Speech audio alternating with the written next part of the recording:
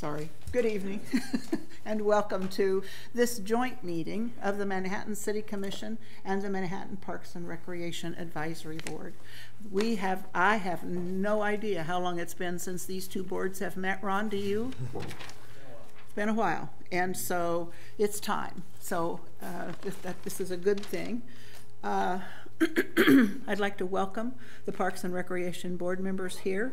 And say we're glad to see you, and uh, I know the you know the community is interested in this conversation. We're interested in this conversation, and um, so I won't spend much any more time on it. But thank you; it's important. And now I'd like for Jared Wassinger to call the roll for the Manhattan City Commission, and then he'll call the roll for the Manhattan Parks and Recreation Advisory Board. Thank you. Mayor Morse, Present. Commissioner Hatesohl,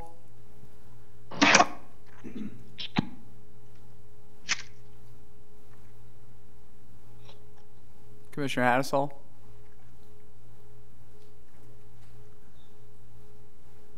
maybe not yet, but his iPhone is here. Yeah. Commissioner Butler, Present. Commissioner Reddy, Present. Commissioner Matta. Here. We have a quorum. And then for the, I, I, I, Hatesohl's here too. I just Hey, didn't there we get go. my phone figured out. So I'm here. all right, we got a quorum. And then for the Park and Rec Advisory Board, uh, Chair Klimek, Here. Vice Chair Mays, Here. Member Hegemeister. Here. Member Lander, Here. Member Roselle, Here. Member Schaefer, and Member Waxman. Here. And we have a quorum as well. Okay, thank you, Jared. Um, eh, uh, We've done the roll call, so let's do the Pledge of Allegiance now, if you would join me. I pledge allegiance to the flag of the United States of America and to the republic for which it stands, one nation, under God, indivisible, with liberty and justice for all. Okay.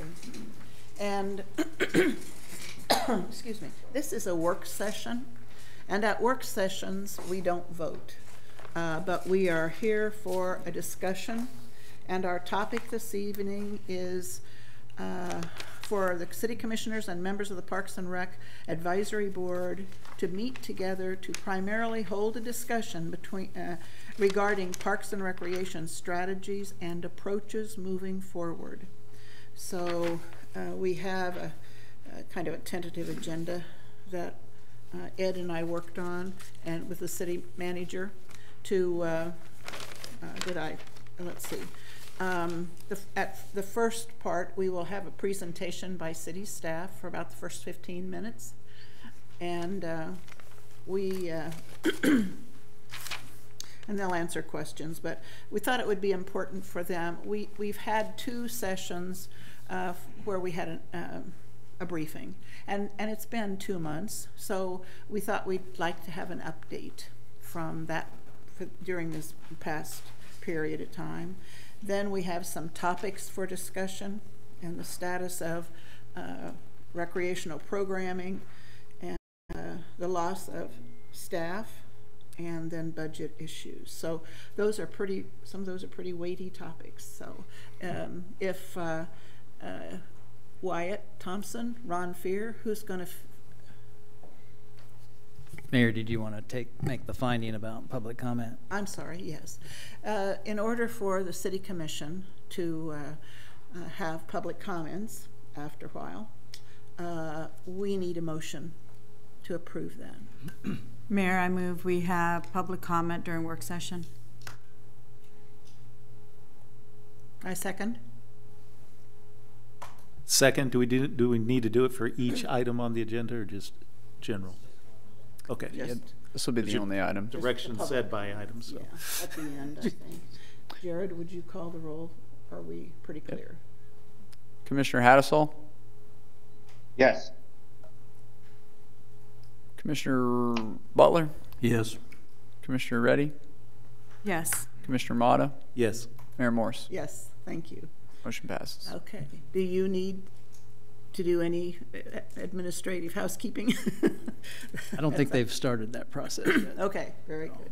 Well, then at this point, uh, whoever from the city Yeah, I'll. I'll lead off. Uh, Please do. Thank you, Mayor. Yep. Good evening, uh, Commissioners, Board members. For- Pleasure to meet with you uh, this evening. We've got uh, just kind of a brief update uh, that kind of updates for some of the programming, a short version to follow similar to what was on the PowerPoint uh, that was attached to the public agenda, as well as uh, uh, I'll cover, and Wyatt's going to lead off, uh, Wyatt Thompson, our interim Parks and Rec Director. So appreciate that. And then uh, I'll have a, just a brief uh, comment on our strategic plan. Thank you. Mhm, Thank you.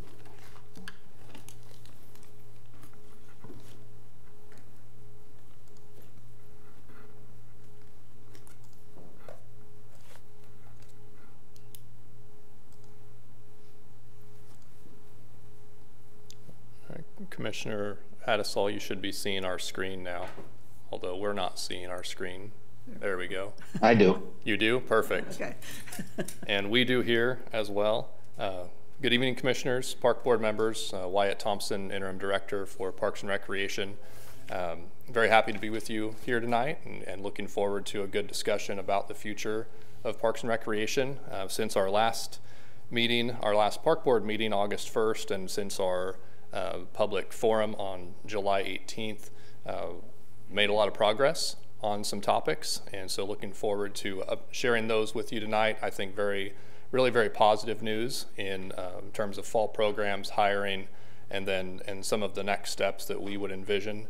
And certainly looking forward to your comments and feedback about how we can uh, do better, be better, and be the best park and recreation agency that Manhattan has ever ever had. So in terms of uh, what we've been able to roll out for the fall, uh, this was very similar uh, to what we presented previously, but a variety of, of adult sports, uh, pickleball, volleyball, a variety of youth sports, uh, flag football, volleyball, tumbling, ninja training, um, as well as today we released a, three-on-three clinic in partnership with the with MBA, which is a youth basketball uh, program in arts and humanities, well, we're, we're offering uh, monthly art workshops, a variety of dance programs, and parents' night out activities, which are like date night opportunities. Drop your kids off at the rec centers and uh, go out on the town, spend some money, sales tax, and then come pick your kid up. Um, and then in the area of special communities, uh, we are. Welcome, Dave. We, we saved you a seat. Go ahead. In the area of, of special communities, uh, we're offering uh, Challenger football, uh, bowling, as well as barrier-free theater. So registration on all of these activities has begun, and there's a variety of start dates for these activities. So some uh, sessions are are filling up or are close to full. Uh, some sessions are are still needing some more people. Uh, we are promoting um, opportunities through our typical city channels, which is you know Facebook and and the Insider newsletter. So through email, uh, we have also uh, partnered with the school district to share this information uh, through the school district channels. And I know uh, yesterday I received an email from um, my son's principal with information about his school, and at the bottom of that email was our information. And so I'm assuming that's also going out to other other parents through the school district. And we do appreciate that partnership and that opportunity to get our information out about our programs through through the district. I know they reach a lot of people, and we're looking forward to continuing uh, working with them to to help advertise these these programs and opportunities. In terms of, of hiring, we've made a number of key hires and are working through uh, some additional um, interviews and advertisement as well. And so, starting uh, really in, in August is when we were able to bring on our first set of folks. And so, Lauren Lofink is a marketing specialist. She's not actually in Parks and Recreation, but she supports us uh, through the part through through the city manager's office and the communications division. And so, she's been able to hit the ground running and produce a lot of the graphics that you've seen for uh, for promoting our our programs and offerings for the fall. Uh, we've also hired a recreation superintendent, which is a key leadership position within Parks and Recreation, uh, Chris Curtis. He comes to Manhattan with 20 years of experience in the recreation field and has, I think this is his sixth day on the seventh day on the job. You might want to introduce. I, I do want to introduce yeah. him, yes. So Chris, Chris Curtis, if you want to introduce yourself and tell him a little bit about you. All right, thanks, thanks Wyatt. Yeah, my name is Chris Curtis. As Wyatt said, I have about 20 years of experience uh, in Parks and Recreation. About 14 of those years I spent as Recreation Superintendent in Salina, Dodge City, and here in Manhattan. And most recently, I was Park Planner, Project Manager with Shawnee County Parks and Recreation for the last two years. So excited to be back in Manhattan and looking forward to working with all of you and all the citizens of Manhattan. Welcome. We're Thank you. glad to have you. So uh, Chris oversees all of our uh, recreation supervisors and coordinators for our recreation facilities, um, athletic fields, uh, aquatics. Um, all of that is in his wheelhouse, and he spent the last week meeting with staff and getting to know programs, revisiting facilities. He's quite familiar with Manhattan, and so he's been able to to really make a big impact already in his short time. And looking forward to the contributions he continues to make for the department. Um, we've we have several open uh, recreation supervisor positions, and we've we've hired made one hire. Uh, we were able to uh, actually pull someone from uh, K-State Rec uh, to come work for us and bring their experience from working in that uh, that environment and come be a supervisor for us. We're very looking forward to that individual starting September 6th. And then we are continuing to review applications. We have a very strong applicant pool uh, for those supervisor positions, and so are, are working through that process to interview those additional candidates. But um, we, we anticipate having multiple qualified candidates for those positions. Uh, we've also hired three recreation coordinators, uh, which you know report to those supervisors and, and help with uh, assisting in program delivery and, and facility management. Uh, two of those individuals have started uh, last Monday and this Monday, and the third one starts uh, the Monday after Labor Day. So all all in all, I mean, really, we're we're starting to rebuild that that team that's able to deliver facilities and programs to the community. Uh, we're also continuing to advertise uh, rec center seasonal support staff. We have a, a actually we probably have enough people um, in place right now. I think they were just finishing up some some hires and and getting people situated at the Anthony and Eisenhower Rec Center. Uh, we have a custodian that we're trying to fill at the Eisenhower Rec Center. Uh, we're advertising and interviewing for facility seasonals in terms of supervi- facility supervisors and athletic field maintenance. We also have a couple positions open in parks in a, a senior administrative assistant as well as park maintenance seasonals. Those are positions we've been down uh, quite a few for a long time. Uh, we're still trying to recruit into those positions to support our full-time staff in, in park maintenance and uh, delivery of those facilities.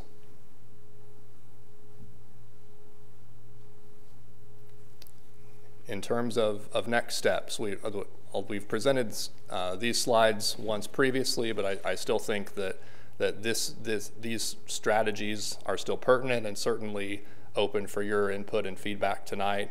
Um, in terms of, of next steps for recreation programs, uh, we, we suggest evaluating our cost recovery model. Our current model would indicate we recover 110% of all youth programs, uh, special events, special communities, programs, senior programs, and 120% of direct costs for adult programs.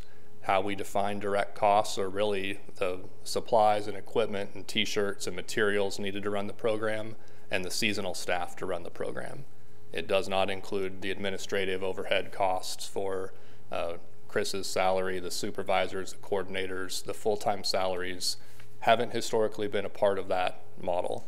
There's other models for cost recovery out there that other communities utilize. So we suggest evaluating that model, engaging with you all, engaging with the community for what that model would look like and what costs we're recovering, what costs are being subsidized through uh, general tax base, or what other revenue opportunities there may be through sponsorships, donations, um, other sources like that.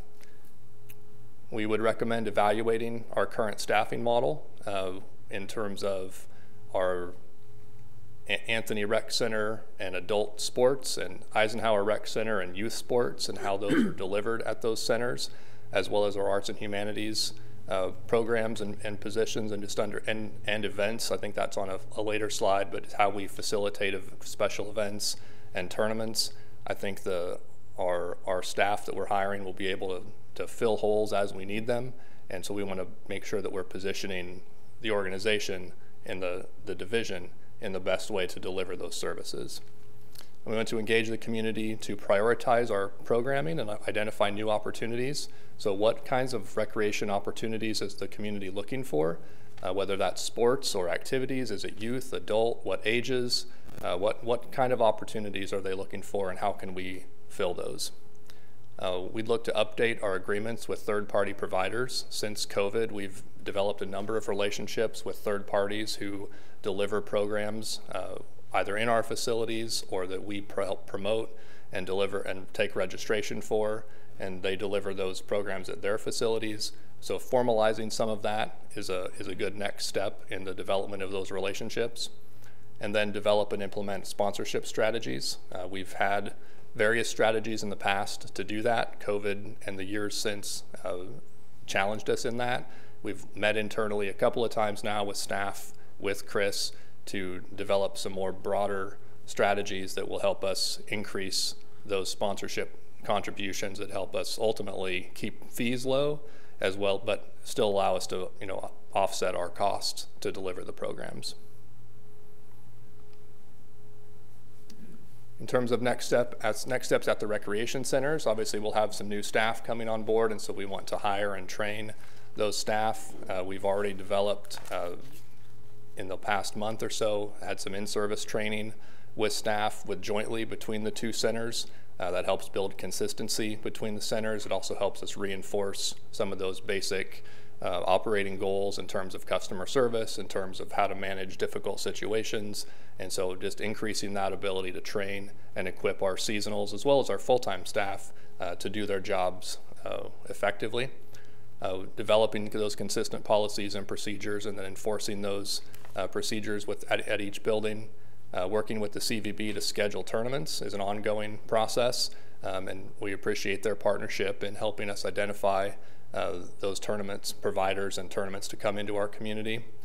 Uh, we want to continue working with the Boys and Girls Club for uh, implementation of the after school program that launched this week, and we've had two days so far that have been implemented successfully uh, with that, and so continuing to work with them uh, and promote that opportunity. There are still spots available at both Anthony and Eisenhower. Uh, so if, if you're looking for after school program opportunities, that, that is available for, uh, for people to sign up for.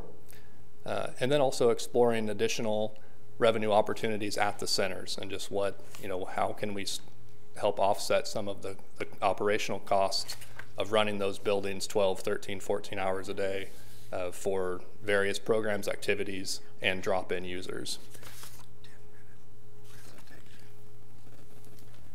In terms of tournaments, events, and facilities, uh, we have some, some positions to hire, and we want to evaluate what that staffing model is for delivery of our athletic fields and our, as well as our facilities in terms of rentals and supervision so that it's clear to folks who are wanting to rent our facilities or use our facilities who those points of contact are. Uh, currently, we're working with park staff to, to maintain uh, existing ball fields, prep the sand volleyball courts. Uh, they've, they've been able to step in while we work to rehire some of those key staff members on our side. But long term, what's the best spot for those for that field maintenance uh, team to to be supervised from?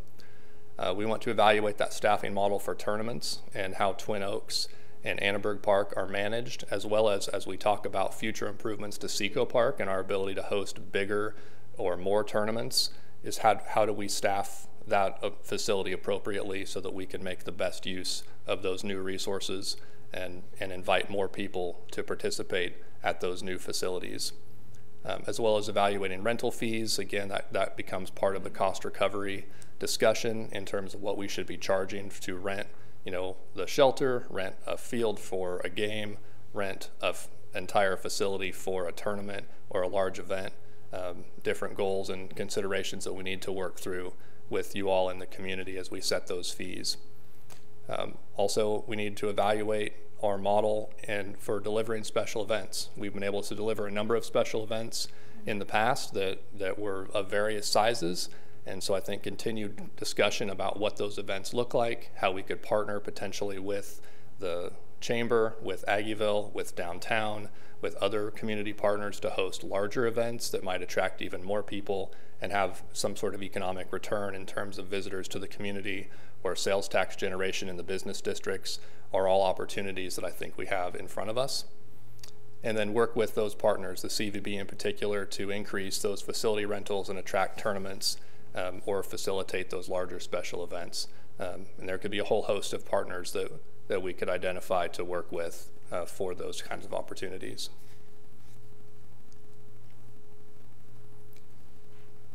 that's my overview. I think Ron has one slide he'd like to share, and then we'll certainly be open for questions and discussion tonight. Thank you, Wyatt.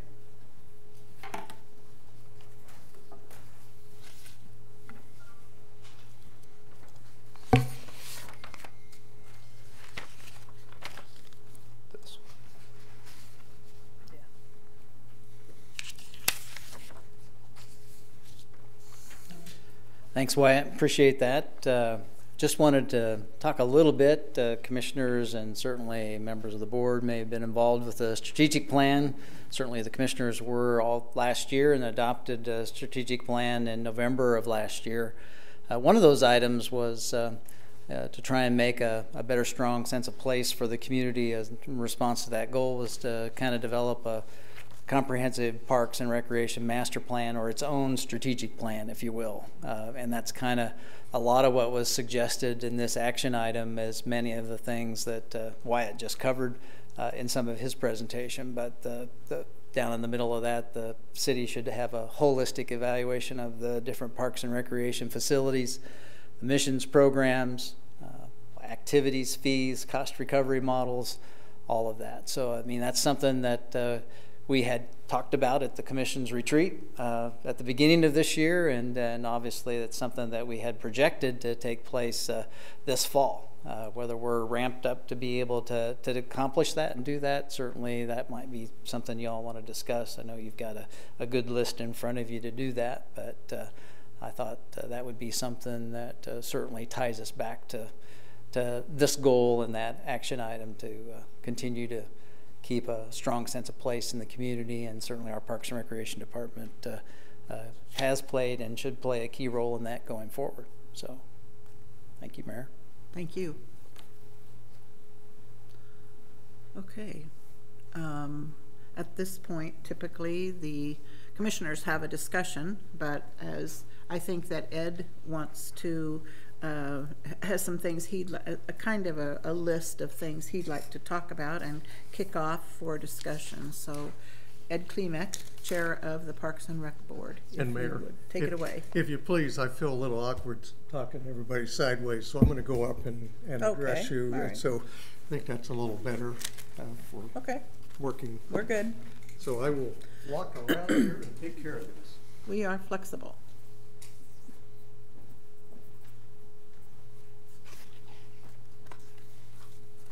Um, Ed Klimek, Chair of the Park Board, and over the last month, six weeks or so, uh, our Park Board has worked probably harder than we've ever have because the public has come forward and expressed a lot of concerns about parks and recreation in our community.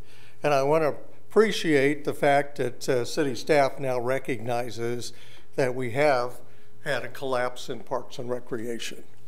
And the question is, how did we get here?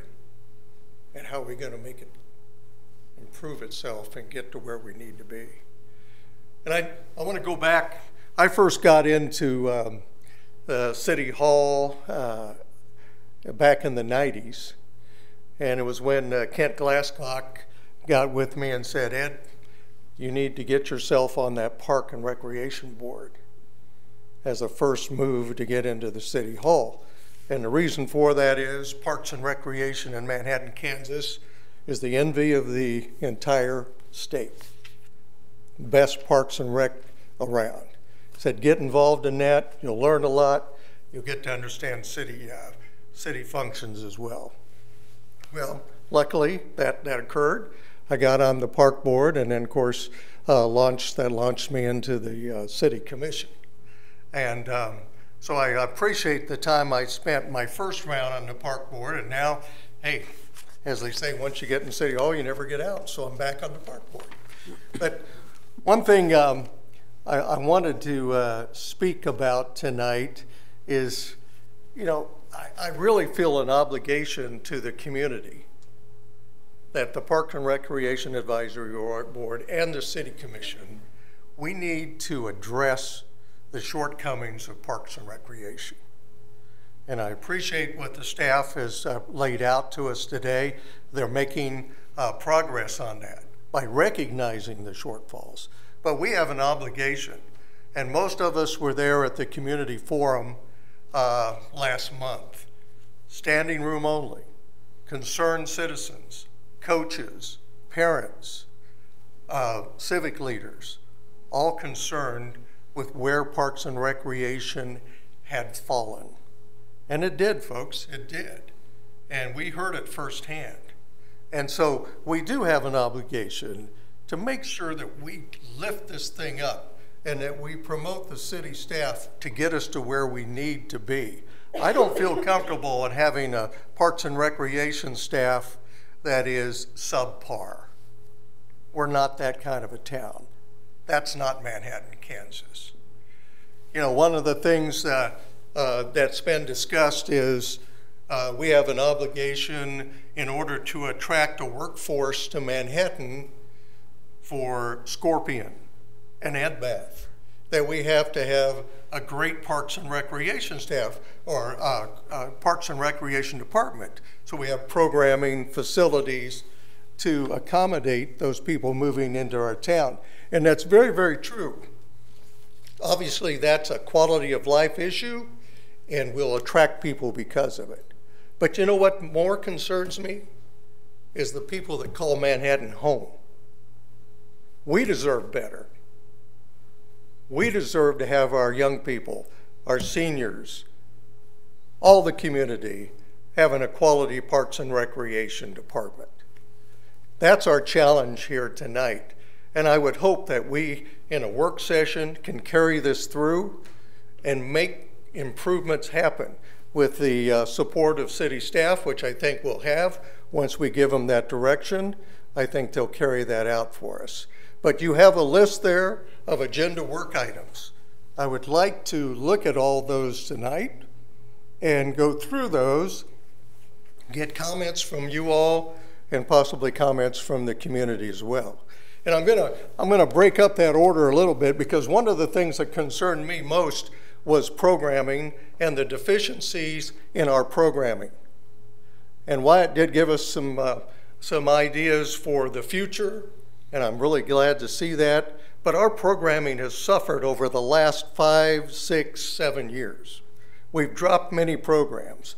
Our participation levels are decreasing rapidly. And why is all that? You know, why, why do we have decreasing participation? Are we not doing what we need to do to get our community involved in programming? And I know, Sue, uh, we got a programming list from the city, and I appreciate that. I think Wyatt gave that to us. And you did kind of an analysis on that, and that might be a good starting point too. You re, do you recall uh, what you uh, found on that? And I'm going to sit down because I don't want to lead this oh, meeting. Only a second. Okay. You can stay. Um, and you know, it's unfair to totally go through the list and say how many were cut because right. there are many other uh, things were given over to privatization to soccer. But there were 28 programs over the years that have either zero or not applicable anymore. So that surprised me. If you look at the participation, it wasn't just slightly down. We have almost 50% less participation than we did five years ago. That's pretty huge in my mind. Now we don't count the soccer kids anymore because they're over in private, but you know, there's many factors in there. And I think that just, I've only been on the Parks and Rec Board for three plus years. That slipped by me, that some of these programs weren't being offered. Now, COVID was in there and some of these are bounding back, but um, it, it was a, it's a great piece that Wyatt and staff put together because it did present for me the picture of where we're at and where we can bound back to. Yeah. I think that's the, that's the goal. So we have hit rock bottom in a lot of our programming. So how do we get back? Or do we want to get back? Do we want to get back to those levels? I think if Manhattan, Kansas is our hometown, we need to get it back. We need to have those products, services, facilities. We built a lot of new facilities, but we've had a problem managing those facilities. There's another problem. How do we get that corrected? And we need to talk that out and get the direction to the city staff to make sure it's corrected. So I'm going to sit down, and Mayor, we could start that discussion. Okay. Thank you, Ed. Um, I think the first item is uh, the viability, the um, reestablishing or reviving the Parks and Recreation um, uh, Board uh, that the city has. And you know that there are five members of, uh, that are appointed by the city and uh, two that are appointed by the school board that make up the Parks and Recreation Board. So they come together from diverse backgrounds. Um, I would like to introduce a brand new Parks and Recreation Board member, and that is Nick Landers down at the end. And he is uh, uh, um, very active, coaching and um, uh, with his children. And I wanted, this is not to criticize, but I wanted to make an appointment to the uh, Parks and Rec Board with for someone with children that were active in these programs, rather because we're kind of uh, getting a little older here. Our children are growing up, and uh, so that's a key point, I think. So, at any rate, so Nick is this is Nick's first meeting actually as the park board member. So, welcome to you. And uh, um, so um, I know that there's been talk about what the bylaws are for the Parks and Rec Board. And so others, uh, Ron, maybe you uh, uh, or somebody on the board could speak to what the actual role of the Parks and Recreation Board is. Uh, the mission, I guess, or your, your charge.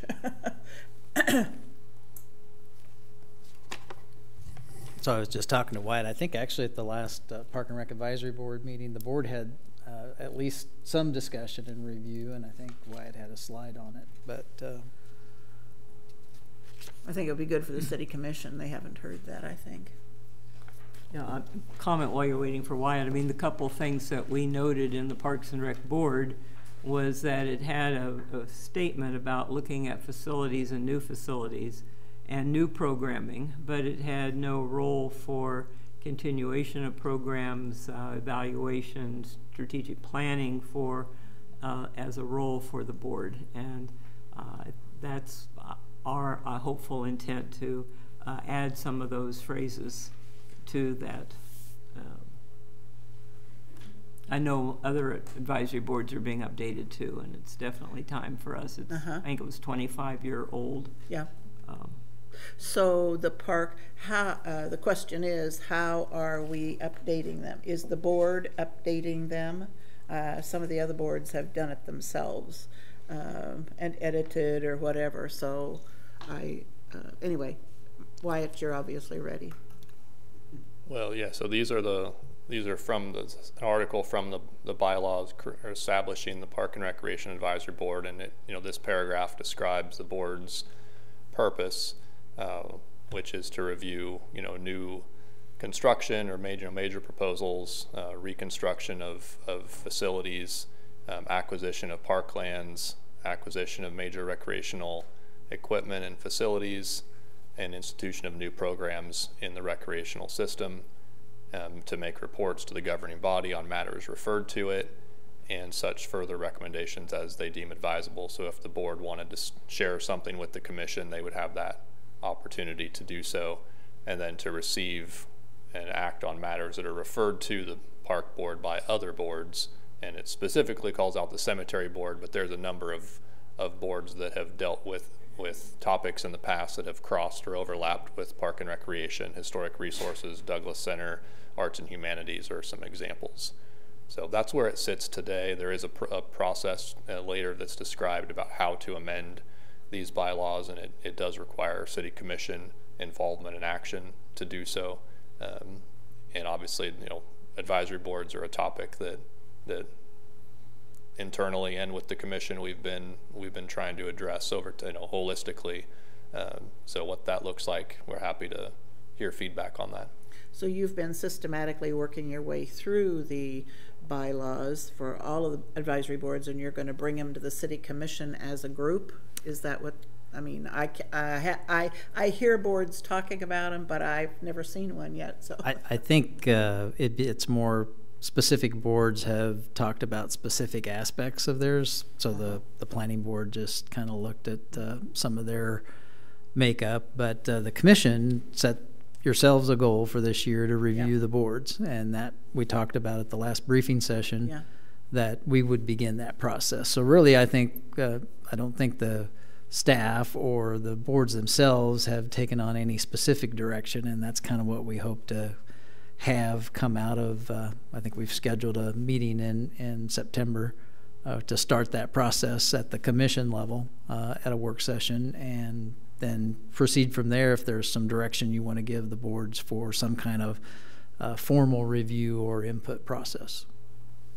Thank I, you. I think the initial, I don't know if you've had a chance to read the, the memo that we got last week. I think Jared prepared it for the staff, and it outlines, you know, a plan for all the boards, which I think was well done.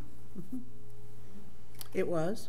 Uh, I'm just anxious to get moving. We've been talking about these for, I think, a lot of the time, the time that I've been a commissioner. And so I don't want the, the, this year to, you know, to end. I want us to move on. So I, I, I want to push.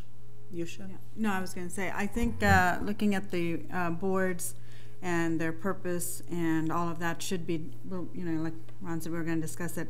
And there are some things I agree with and some things we definitely need to modify. So I don't want to piecemeal each one uh, as we look at this board.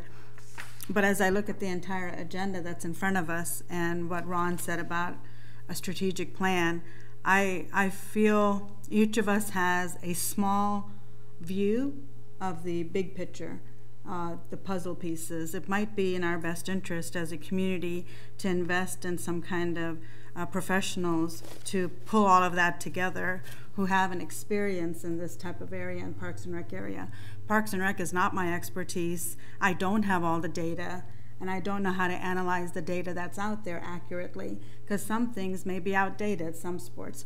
Pickleball is new these days, uh, disc golf is new these days, and some things may have replaced others. So I don't have a perspective in uh, cultural changes in recreation. And I think that it's important to have those, to see why some of them were not having a good enrollment or why some of them have disappeared and what new ones were brought on. So as we look through all of this, I don't feel, uh, like I said, uh, having uh, the strength to discuss each of these individually. I don't know what a participation level looks like to gauge what normal is. Uh, so I think for sponsorships, if there's communities that are doing it better, I think we need to have some pull in some other people uh, that are professionals in this area to help guide us. Um, and all of these other bullet points that are here. As far as the purpose of the Parks and Rec Advisory Board, I think that is something we can discuss tonight and also have another discussion in September. Since this is a work session, we can probably put some ideas in there together and get a general idea. So when September comes around, I don't think it would be fair where some there might be an imbalance of responsibilities uh, from one advisory board to another, but it also needs to be um, uh, representative and relevant to that board. Uh, what might be relevant to one board will not be relevant to the other. So we'll see how much it takes. And also, there are volunteers, so I would hate uh, to put a ton of extra work for each of these boards um, and understand that they need to be voting on some of these and giving us recommendations too. Uh, so that's a, a lot that's been on my mind as I was looking through all of these things. Okay, I um, am interested in uh, dealing with the bylaws. Uh, we don't have to do it tonight, but I want the, the board to finish their work and make a recommendation like the other boards have to the city commission. Seems like that's the procedure. I don't know how to resolve some of the um, purpose of the board. Uh, so we, we just need to deal, you know, maybe uh, it's changed in 25 years. And so, other members, Carla? Yeah, I think that, you know, those bylaws look okay. I would just add, you know, one thing to it. I mean, my impression from uh, talking to members of the, of the Parks and Rec Board is they just feel like they're not being able to give any direction. That what they get is just briefings from the staff on things, and, and that's on such a high level. It's like, okay, if we're gonna build a new field, or when we had the tax initiative, sure, the board's involved in that, but nobody went to the board and said, hey, we're gonna start a Boys and Girls Club program. I I don't think the board got to put any, any recommendations in that. I don't think anybody went to the board and said, hey, we're gonna, we're gonna chop this, uh, flag football. And so I think that's gotta be in there. You know, just, just like when you try to do a zoning thing, it's gotta go through the Board of Zoning Appeals. Well, maybe major changes to programs, Parks and Rec, board ought to be able to check off on it. That, that, that's a pretty simple thing to change. The rest of that, I think, is solid. But, but, but if I'm right, Ed, that's, that's the, that's the feeling I get, that, that it's like you've got a board that really can't affect anything. And maybe just to add on to that, because Ed, when you were talking about the deterioration of, of uh, programs and the staff, uh, I mean, this, these bylaws kind of talk about a lot of the future stuff versus what was just ongoing. It would seem to me that the board, and I'm asking the board, would want some briefings like, you know, here are the programs that are coming in, here's the ones that are dropped. You know, seeing that on an ongoing basis versus just doing, doing a review every once in a while and seeing all this stuff happen as well as what the commission has asked for for a number of departments, which is like is a little dashboard, like here's what we expected to happen this month. We would bring in this much revenue and had this much participation, and we either got it or we didn't get it. We're running behind. We're running ahead. Uh, so you can really, you know, as a board, see where it's at and not get a phone call with some surprises about a program or that type of thing. So is that where you want to go? Yeah, you know, I think we're, we're talking about this key word uh, out there in government these days, transparency. And uh, we certainly lack transparency from uh, uh, Parks and Recreation Department for the Park and Rec Advisory Board and the public. And we saw that in our community forum. Uh, People weren't aware of things that were happening or coming down, or the fact that the leagues that we offered weren't run properly. Uh, There were a lot of issues. Coaches stepped up, told us about that.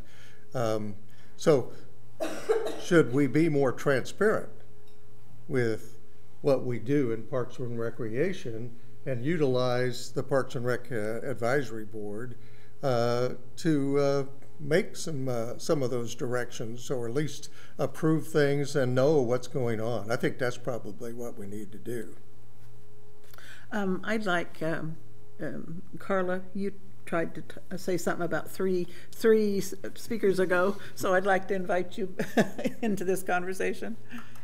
My initial comment was I, I think that it is the charge of the city commission to adopt the bylaws and to adjust the bylaws because we are at your charge. We are appointed by you.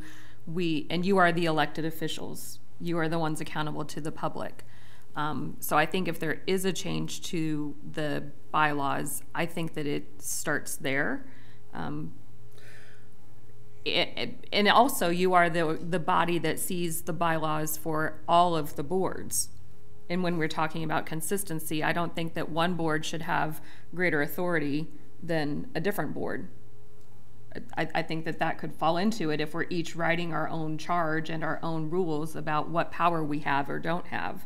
I think that for consistency's sake, it should be um, coming from the direction of the city commission with some input from us. I, I certainly don't want to shirk that responsibility. Um, and at the same time, listening to this conversation, I do still want to be clear I think we need to be clear. Um, again, the question of authority and the question of governance in the sense of the Parks and Rec Board does not evaluate staff. We do not evaluate city staff. We do, perhaps it, we need to be evaluating programming. Maybe that's a question that needs to come into that conversation. But um, I, I feel like we need to be cautious of, again, balancing the level of authority and responsibility in having citizen involvement, which I think is really important, but also being clear um, where responsibility and accountability lays. For maybe that's the best way I can say it. And Mayor, I'll contribute to that. I feel like the advising part is us advising from the community to the city commission. You know, that, that's the part that we're advising. And we get caught up in who, who we're listening to. Um, a lot of the reporting that we've gotten over the last two to three years has been city staff reporting. Um, but we're not evaluating city staff, as you said. And so we need to be able to comment from the public. But as Wynn Butler just said, we haven't known of some of the major issues that have come out in the last few months. So it's hard to advise when we're learning When right along with the dark, yeah. public. I think uh, the board has, uh, has to make recommendations or forward uh, to the city commission. Uh, When you have, uh, uh, are- uh, find there's an issue or a, a motion of support that this is a good idea, we support that. Um, One of my uh, things I I, I have uh, been to many Parks and Rec Board meetings. I watch them on TV because I, uh, was one of the boards I started with, uh, paying a lot of attention to, and there are hardly any motions. You just come and you're briefed and then you go home. But you don't vote, you don't make a motion, you don't, you know, really uh, take action. And the city, uh, recommendations to the city commission is what, really what an advisory board does, I think. So, you know, it's just, and I, uh, there, there are shades of that also. It's not any, just one thing. Um, But, uh, Christine?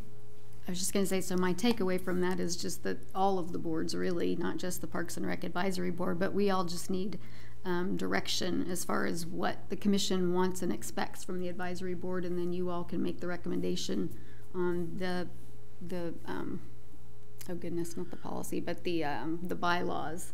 And then, then that, and I think it help, helps clarify what our role is, and, and as you stated, that's, I mean, we do hear from the public Yep. quite a bit, and so that's a key piece. I think we also represent that voice to, to you as the commission, so, um, I guess And that's I my really do takeaway, is that- expect the correct? advisory board to make a recommendation to us about the bylaws. Every, uh, the other boards are all doing that, and so uh, it, it, it's part of the process. Uh, So, anyway, it's, carry on, I guess, with that.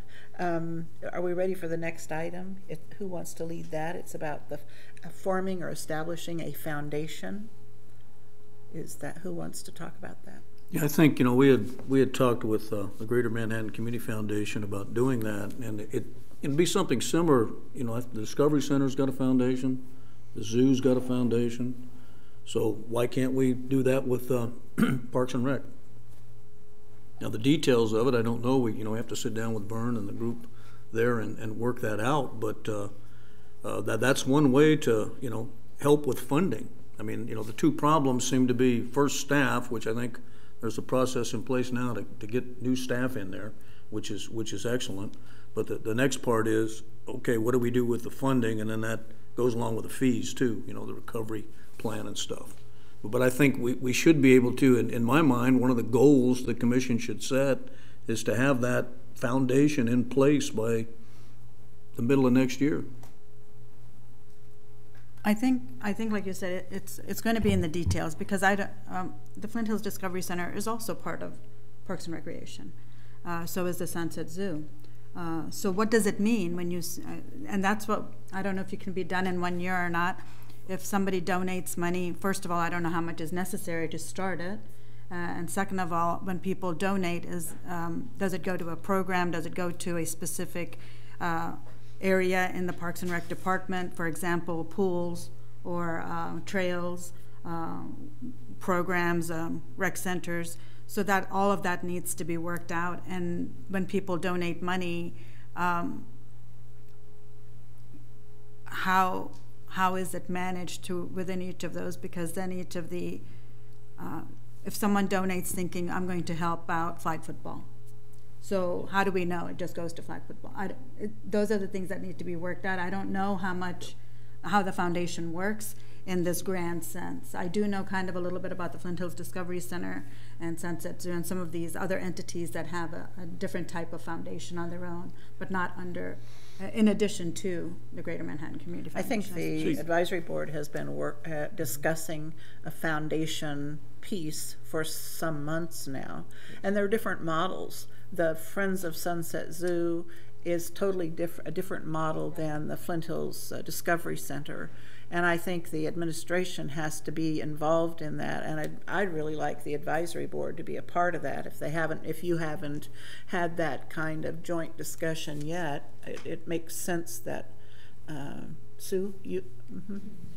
I think there needs to be a careful balance between not just taking things off the tax, you know, the, the city's responsibility. You know, if the, if the city generally puts together softball and football and these things, um, we don't want to just suddenly say, well, now the foundation will pay for all those things. So it has to be a balance between what are we expecting from our city dollars in Parks and Rec, and what kind of goes above to the next level that enhances that we would not find in the city budget that would definitely Im improve our community in the recreation and the parks. So it has to be a balance. We don't want to suddenly throw everything off and say, oh, well, let's go ask the foundation to pay for those things. Uh, And uh, I think yet we have to carve out a place for the foundation because we have a discussion going on about um, general participation versus club sports. I mean, there are different aspects of it that need to be worked out. And I would expect the city administration to work with the advisory board to get there. Um, or, you know, or else dissolve the advisory board because you're not able to function. You're not fulfilling that advisory role. So I'm an advocate for you being involved. Well, the, the foundation, to be clear, has to be separate entity from the city. Absolutely. It has its own board. Uh, it is not under the city at all.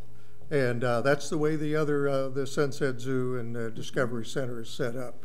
Uh, and one thing is also very clear across the country people are more willing to give to a foundation and they know exactly where their money is going versus giving to a city or a government entity and they don't know where that money goes. Where does it end up? It goes into the general fund.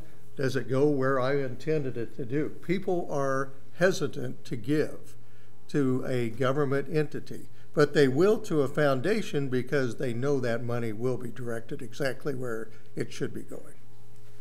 Yeah, I agree with that, and a lot of uh, communities are going to this foundation model.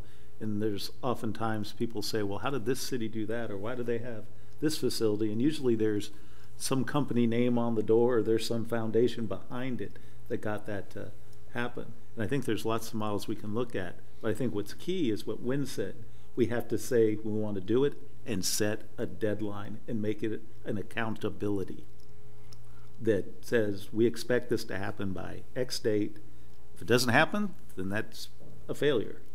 But we need, we need to not debate, set it and go. Yeah, and I, I agree with that and what everybody said about the details, but let's not let the details stop us making the decision. We're gonna have a foundation. That's step one. You just gotta say, okay, we're gonna have it. We can work out all the little bells and whistles later with the, with, with the Greater Manhattan Community Foundation and with the advisory boards. But the problem is if you try to build the entire ship right now, you'll never get the keel laid. So decision one's gotta be, let's have a foundation. So, sorry, I was gonna, so who does that? I mean, Is the, do you need a steering committee? Does the advisory board do that? Do you have key members doing, if you, we can't I think we need a let's it. recommendation from the advisory board to the city commission, because we're talking about a foundation specific to Parks and Rec. And, uh, and then the city, uh, and the city commission would discuss it and with, uh, from the city administration. We don't, we individuals don't know enough. It takes a, a legal, uh, uh, I think it needs to be an accountability of city staff. If we set it as a priority, give it to them as a goal and a date for it. They're the ones who are the professionals, they're the ones with the resources. There's the ones we look to to do these, and we move forward. Ron? So just a, just a comment, I mean. Uh-huh, please. uh, Chair Klimek made a pretty profound statement. Most foundations happen on their own. Uh, Yes. the- Matter of fact, We've there, there's two types. We went through this with the Discovery Center. Are you going to have a foundation that is affiliated with the city government and is a arm of the city government? Or is it, and then which the model you just suggested would be so? Or is it something that needs to, we just would like to encourage the development of a foundation to support it, and that's got to come up on its own? Uh, That, that's something, so there's two different models So the zoo is an example of an independent one. They are, well, and so is the Discovery Center. Yeah. They, we, we made it, we had that And debate, they- and there was a yeah. Mm-hmm. group of citizens who decided that they'd accept that goal, if you will, for them to form generic. And mandating it, then it's truly affiliated with the government. It's not a separate, independent foundation. Okay. And the advisory board has discussed that and came, I thought, came to that conclusion already. And that, uh, to have results uh, will depend on a few, and maybe more than a few, motivated citizens who think there's a big need for it, and they would probably be uh, ones that would start with some significant contribution, and then you get organized because you're going to have a separate foundation board because uh, foundations can be wonderful, and I support and give money to several, but you have to have trust in that foundation and the board that uh, if you're going to give the money, like I think uh, Ed has mentioned here, to a certain part of that, that it's going to be used in that way and not misused. And uh, again, you have to have somebody, uh, and more than one probably, uh, that's motivated, motivated enough from the citizen group to uh, get it started. And we've talked about it, and we, I thought we kind of came to that conclusion. Okay, but you need a, to make a recommendation to the city commission? Have you done that part yet? I I haven't, don't think they. I make a haven't rec- seen it. Yeah, I don't Yeah. think they make a recommendation. It has to come from them, otherwise it becomes a city entity. It's a continuing, Yeah. continuing item on our agenda, and we discuss, but we, we don't have authority to do anything either mm-hmm. You with make, that. yeah, well, or you make recommendations to the city commission to do, th- to take action. No. But that's what, what we're saying is that if, looking at those two models, one model is attached to the city. Yeah. It, it would be connected to city government. Could be. Could be. And that, in all honesty, is probably not the model that we've really been discussing. That's not the model that the Discovery Center has, that the zoo has, or that we were looking at. We were looking at a model that is independent of the Parks and Rec Board, it's independent of the city government. And so it's not, to, to me, it's not to us to make a recommendation to the city, because what are you gonna do?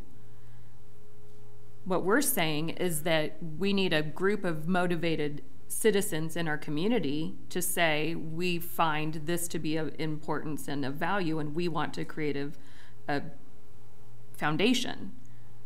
It's independent of both of our entities. Well, that's a recommendation. In the same way, From the advisory board to form an independent foundation. no, So, because who are we recommending? yeah. Who are we? The city So- can't, te- you guys as city commissioners can't tell the citizens to form a, you don't have that charge either. I don't So what I hear you saying, think any of us are expert enough. when you, when citizens formulate, form the um, organization for the foundation, uh, I get that part of it. And I get how the, you don't make a recommendation for the city because then it comes under the authority of the city. I get that part of it. So when those conversations happen, as all of you have indicated I've had those, have those been done at your advisory board or do you need to have them separately? Because if you have it as an advisory board, then that becomes part of city government, doesn't it? We have had those discussions at our advisory board meetings.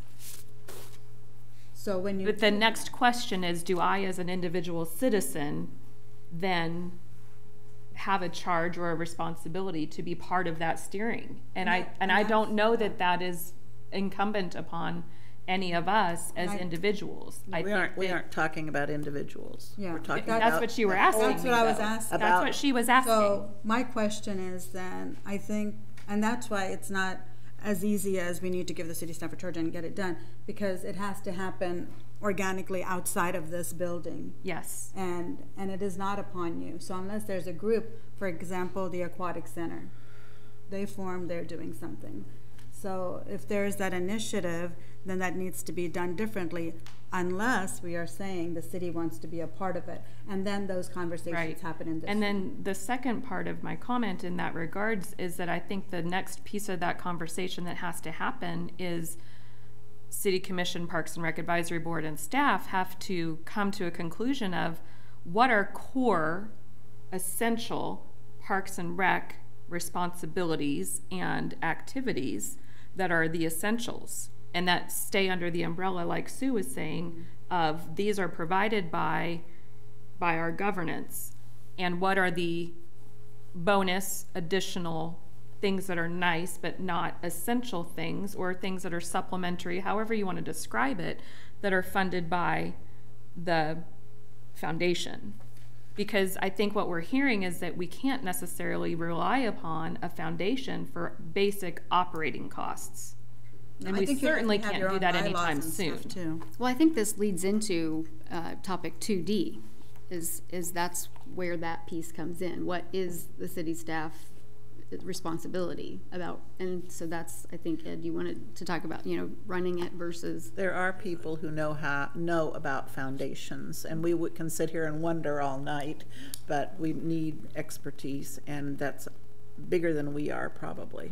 So, city administration and attorneys and, Yeah, we're not gonna put that together this evening. Alls we need to do is have the support Yeah. that a foundation concept is the, a correct way to go and get the citizens involved in that and let them take the charge. it is, a- That's really it, it's a piece of, uh, because no- neither of these foundations we've talked about tonight are the whole solution. They're supplemental. They buy the extra things that the usual city budget can't afford. Anyway. Yeah, I see it similar, you know, Ed, you were involved in that, you and me and, and and Commissioner Dodson when he was here and a number of people in the community, you know, we put that Johnny Kaw Plaza out there. And, and, and all we had was city support for doing it, not one tax dollar went into that thing, and people donated to it. And so, you know, I don't see a problem with members of the Parks and Rec Board or the City Commission getting with the, with the Greater Manhattan Community Foundation and setting this thing up. Just that simple. You did that with the Flag Plaza, I think, too, many years ago. So we've got examples of that happening. You know, they're the same with the band shell and all those kind of things. It's not that hard. What, what's, what the problem is, let's put the keel in place first. Worry, worry about the rest of the ship later. I, I was just thinking those happened on their own outside of this room. The Johnny Kaw's things happen outside of the room. So that's, so it's not a recommendation you bring to us, or we have to approve anything. When I think we aren't gonna solve foundation tonight, and we've spent a half hour, so I'd like to move on to sponsorships. Uh, foundation is a piece of the puzzle. We're also talking about city funding, uh, recreation programs, so, but, so anyway, let's move on to sponsorships. And I hate to s- take that off the, t- the discussion table, but we need to move on. Yes, I agree. So sponsorships, who Yeah. is gonna lead that discussion? Let me just uh, open, I think we've missed a golden opportunity uh, in the sponsorship world. Many uh, parks and recreation cities across the country sell sponsorships for their programs, their facilities. We have been very, very uh, lax in that. And uh, we, we need to take that opportunity. There's a, look at the K-State Athletic Department. They sell sponsorships for everything.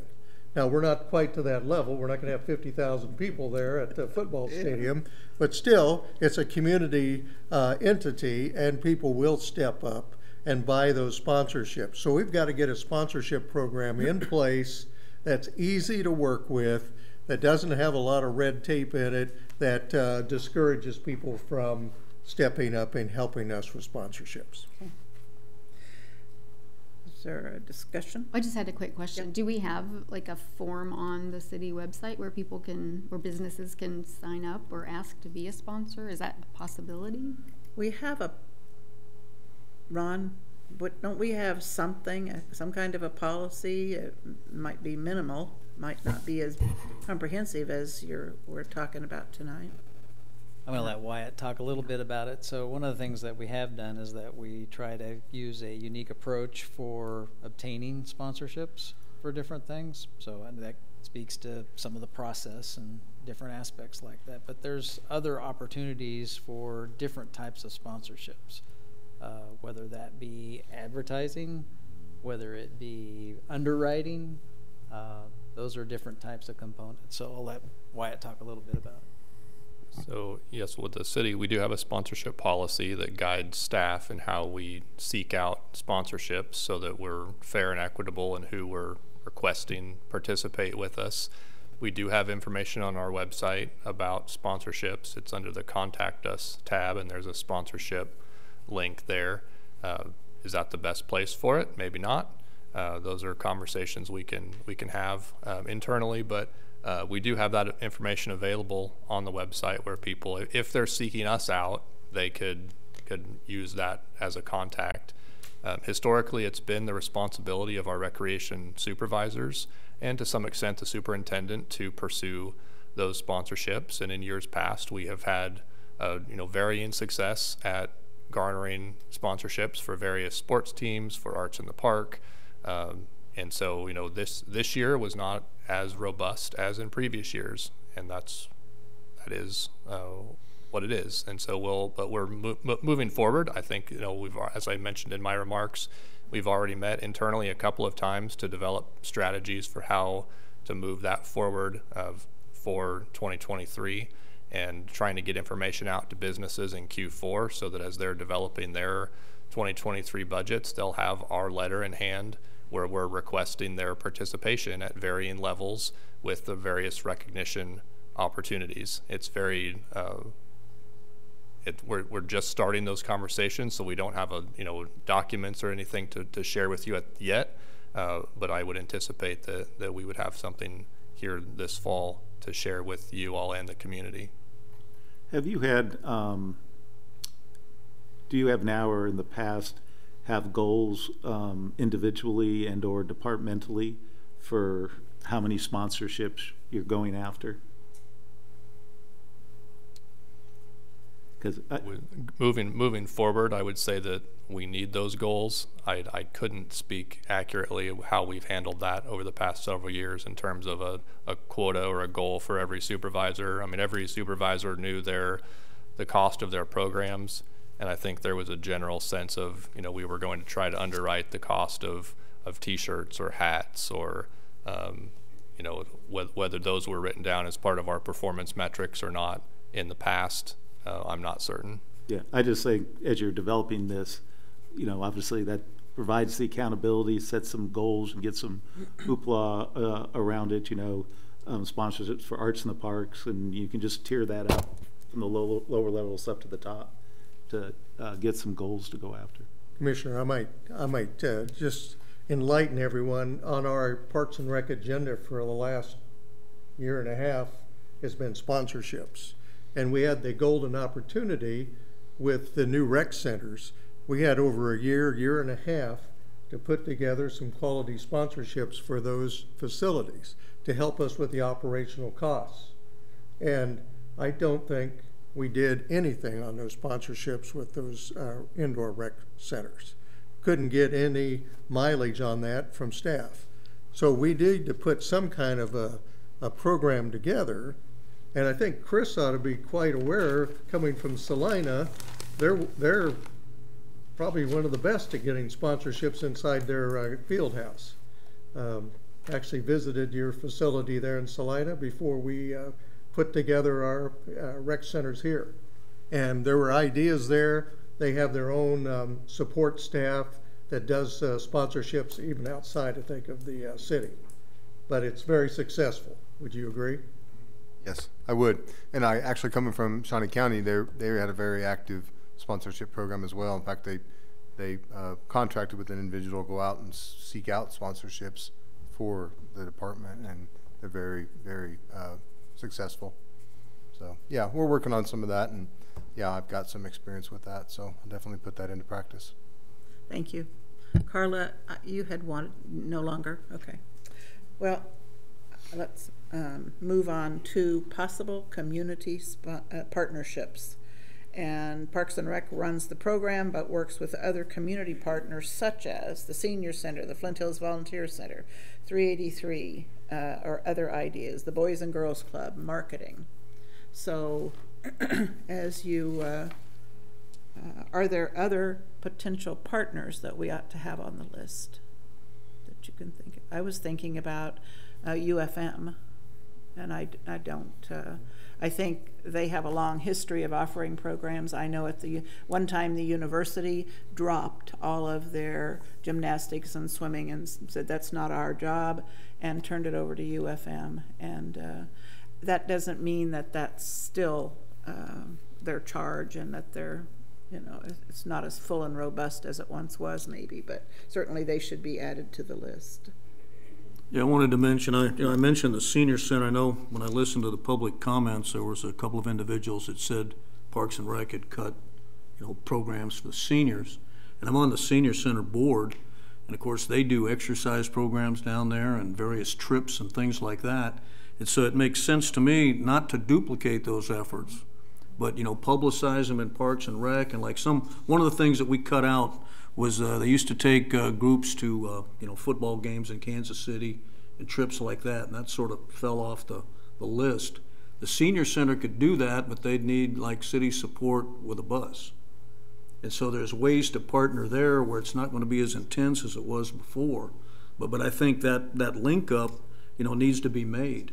And, and the same with uh, Flint Hills Volunteer Center. We, we said we needed extra people to maybe staff the rec centers, take care of some of the problems. And I know the Volunteer Center provides help to the Discovery Center. They've, they've got direct connection there and they send people over there to help. And so if we could draft a list of extra people requirements that we need and send it over to them, they might be able to fill some of them. You know, not all of them, but I don't think those are the kind of connections we're talking about, which would eliminate duplication of effort and in the long run save money and maybe drive up uh, participation in a lot of these programs. Yeah, another one could be Job Corps, um, Flint Hills Job Corps, because they, they'll get their groups together in an event, they'll, you know, help police things and parking and that, or if you just have a cleanup job or something like that. And also some specialty stuff they can even construct, uh, if you need. Uh, but in talking to them, they're, frankly, they're looking for opportunities to do stuff like that. They've been active in the community for a lot of years. Um, Did anyone else? Uh, What about 383? Are we maximizing our relationship? Um, And I, I know we have these gyms side by side.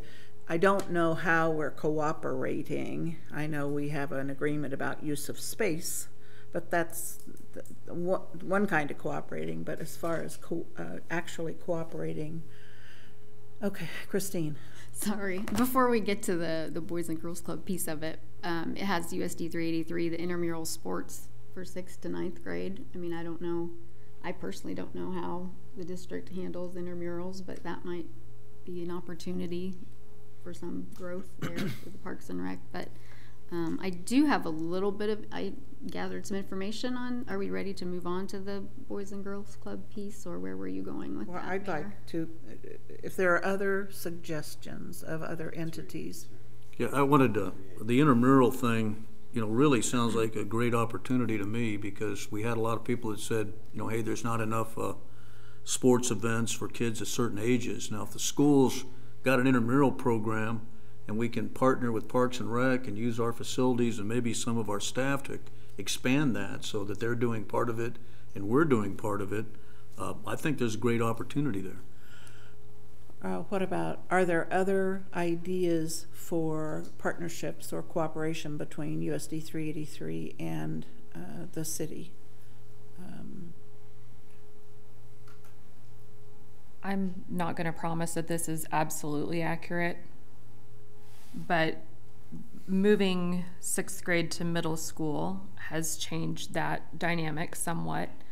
Um, I think that there are lots of opportunities for our seventh and eighth graders to participate in sports.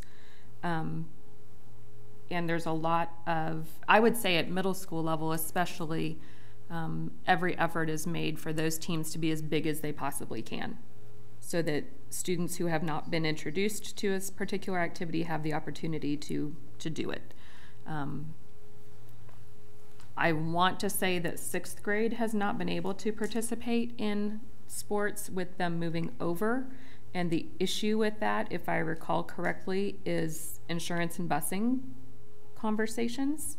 Um, that at that at the age of that population, there are different rules around that as far as being able to travel for athletics. I'm not 100% on that, but I'm pretty certain that that is the distinction for why our sixth graders are not necessarily able to participate in school based um, athletic activities. Now, I will say that, that our schools are engaged very consistently with after school activities and clubs of a number of varieties, whether it's um, just different social clubs. Each of the schools, um, AMS and EMS, both have student run interest clubs that are then organized by the group and have an adult sponsor and, and have those activities go on. And those activities are accessible to our sixth graders. Um, I felt like when we were talking about, um, when we were at the listening session at the fire station, and the feedback that we were hearing um, was not necessarily uh, geared towards not having opportunities for the older group, the middle school to high school group during the school year, but perhaps during the summer. So thinking more along the lines of summer activities, um, softball, baseball, and those sorts of sports activities, because those the the the older crowd, it's it's club ball, and it's there's not the park and rec connection to it, and I don't know that the school district would have an active role or engagement because of it being summer programming. But I think during the school year, there's a there's an abundance of after school activities, and I would also say out of that, um, we're asking our teachers and school staff to do a lot.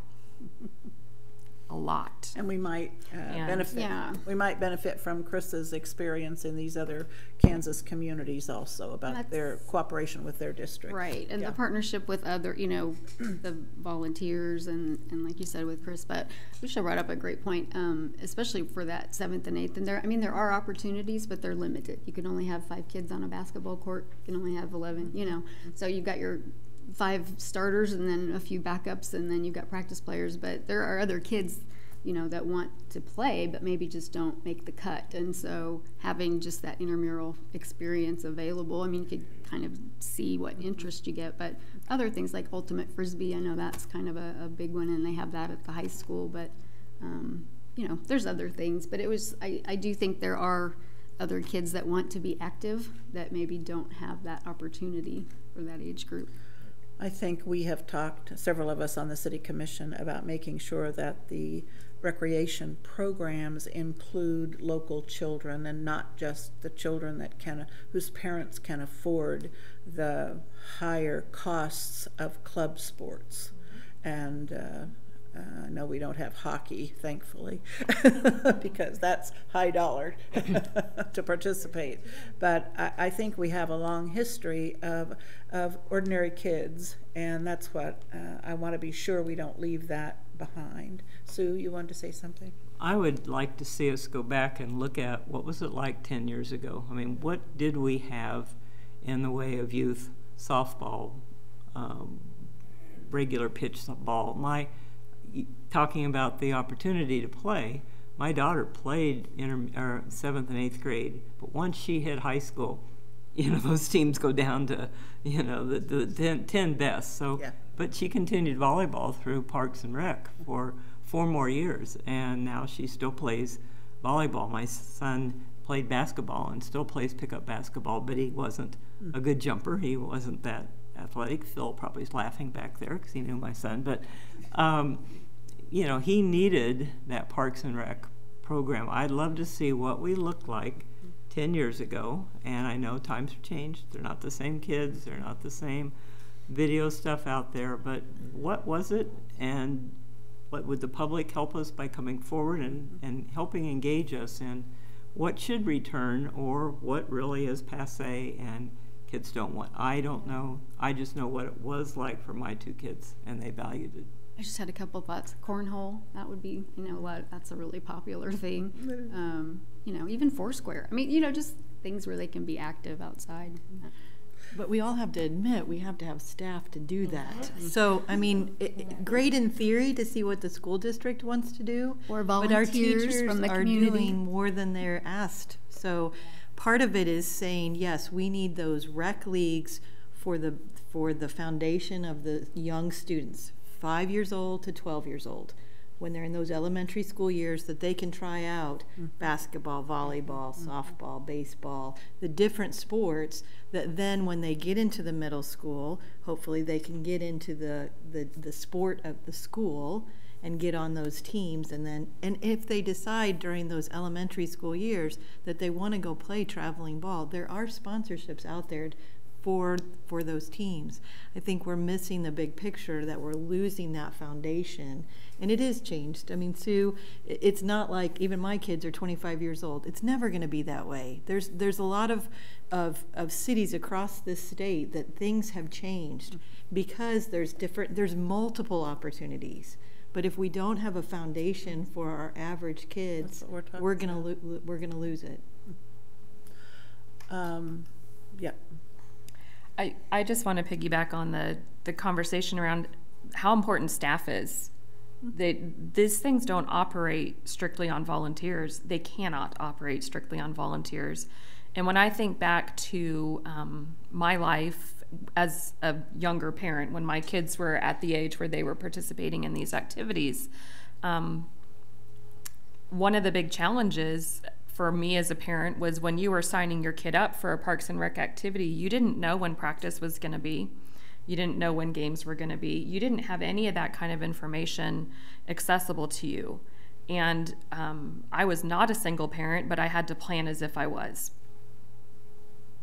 And many of our families are single parents and are trying to get kids from multiple activities. And that to me was driven by the fact that our coaches were volunteers that that that is how those schedules were put together out of necessity. I understand that.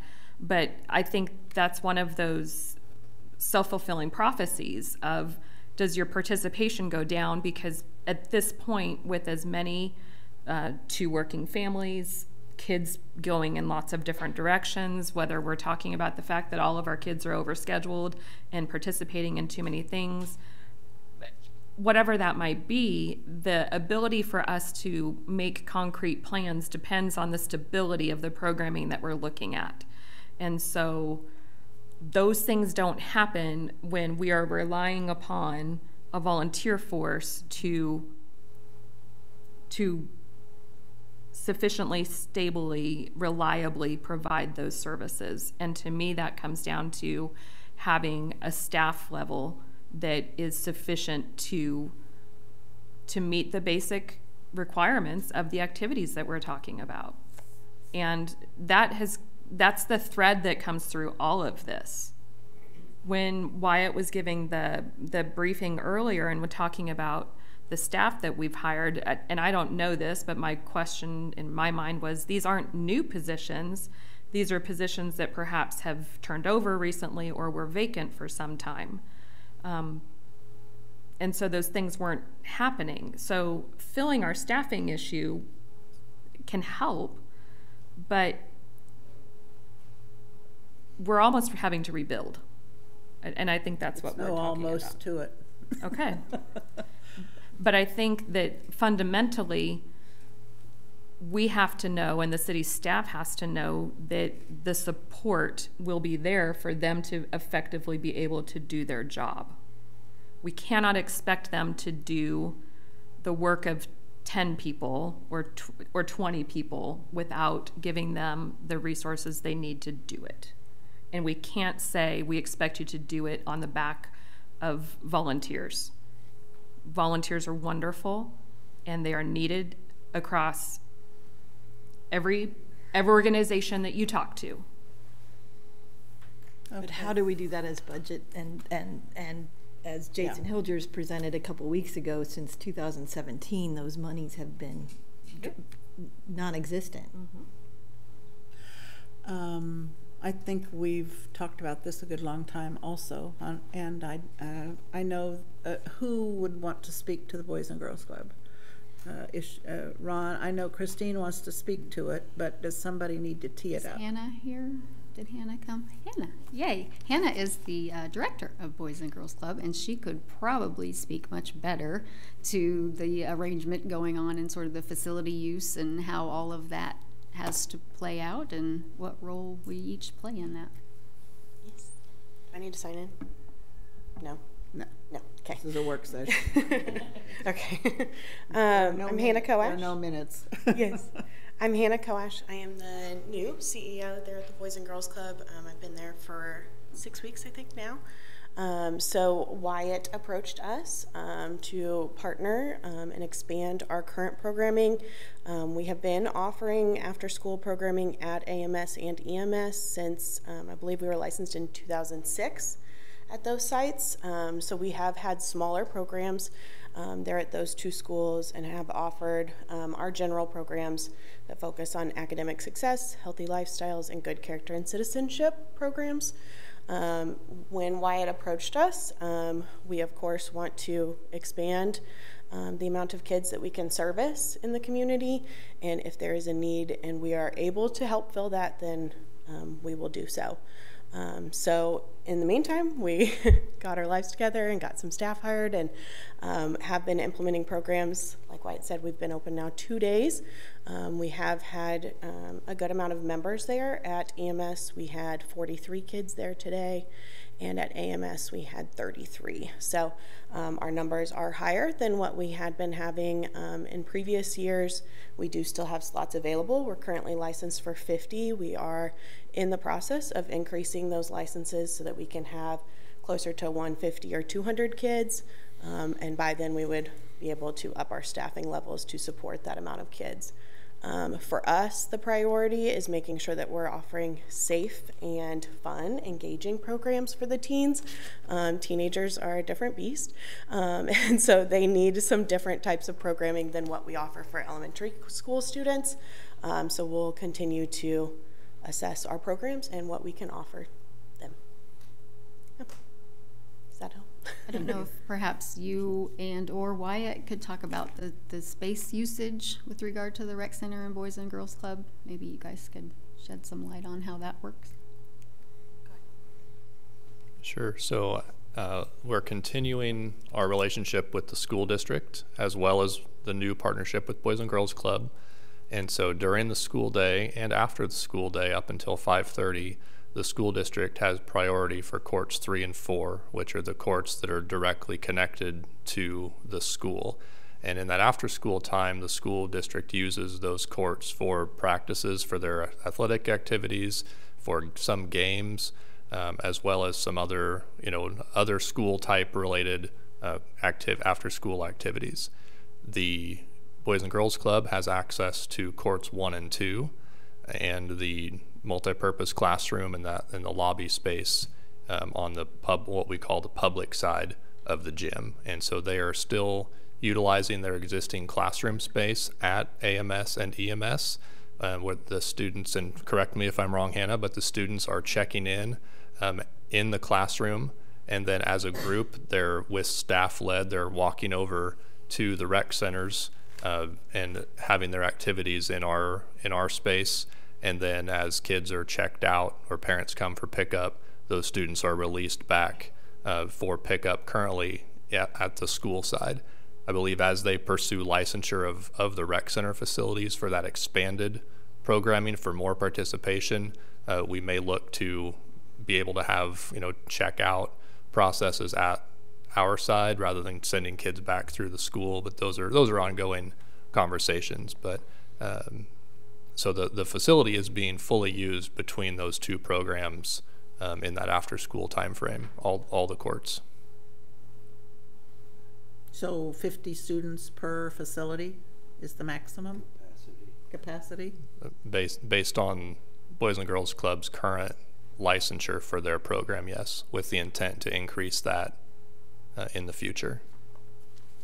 Okay, but just a pure space standpoint, because we've gotten a couple emails of, you know, why can't the public still come? Isn't there enough space? Obviously, people think there is. Obviously, there is if we can increase the program and add more people. So if we increased it, we probably couldn't let people in. But that's the question. that Yeah, I think there's there's enough physical capacity for for more participation, and obviously we've had we had higher numbers than that on certain days last year during our our drop in after school period, and you know tournaments and events have more more people than 50. I think the our challenge came just from administering both the Boys and Girls Club program for their staff to administer the program, and if you mix public, especially other youth, into that space where three where on courts one and two, because courts three and four are closed off for the school district, we didn't think that it would be a, a feasible opportunity to commingle club participants and non-club participants in the same spaces. And I, I don't know if, if you could speak to KDHE licensure, if there's any requirements to mi- not mix public with students or Yes. not. The general rule would be to not be mixing the public and um, Boys and Girls Club usage for a licensed after-school program. So just a, a couple questions, as you've said that, so this, the school side is now being used after school by the school, and that's a change from last year, right? Because when the school day ended last year, the entire complex, I spoke with one of the principals at uh, one of the middle schools, and it probably is the same. Um, Mr. Martinez said that currently their volleyball practice is in the gym. They're not using the rec center. Um, when they have games, they're using their own gym, but the matches, if they have matches and quads, that that would use the rec space. They do plan on increasing the use of that rec space towards mid-October when basketball would start. So that's sort of what the district piece is right now for usage of that. And that's see, also, that's also until five thirty? I believe so, or, yeah, whenever. Or, I mean, within, a f- within a few minutes, yeah. That's when the Boys and Girls Club period ends, is five thirty. Five thirty. Same timing then. Mm-hmm. You see, the question I got from a couple of emails was the, the fact that, you know, the school isn't really using three and four continually every single day. So is it possible to have Boys and Girls Club use three and four on the days the school isn't, and then opening the other side to the public? Now, that's not gonna leave it open all the time, but it would, it would change it a little bit. You know, like if the school's gonna use it, you know, three days a week, then, uh, you know, for two days a week, Boys and Girls Club would use the school side, and we could open up, you know, the, the Parks and Rec side for the public. I don't know how you would schedule that in a way that the community would be able to track it because it's going to be dependent upon meets and matches and I mean it's, Well, yeah. it's not going to be Monday, Wednesday, Friday. I know, it, it would Because of- fluctuate, but it's on the website now, the hours are there. I, I I was just, you know, relaying that because I got several emails concerned about that. There's I don't several think it's people so that. much about the games and those things. Those those are scheduled and have already been given to the rec staff and Boys and Girls Club. I think the, the issue that maybe is the conflict is just the consistency for Boys and Girls Club um, and utilizing the space that they have contracted to use. And so, I think the conflict is that the public can't use it during that time. That's the conflict. Yeah, and I think they get frustrated when they see it empty, Right. but I can't use it. And the challenge is, well, can't you figure it out so when it's empty, we can use it? I I- mean, that's what it comes down to. the licensure piece of it. I Well, think we- Well, and does it also come back to having staffing levels at the rec centers themselves that are able to The right manage the, the day-to-day. Right. And aren't trying to do ten other things at the same time. It, that's, that's part of it, is I think we could have a higher expectation of the staff that are physically planted at those buildings if they weren't also trying to do a bunch of other stuff. Can I, quick question for Hannah?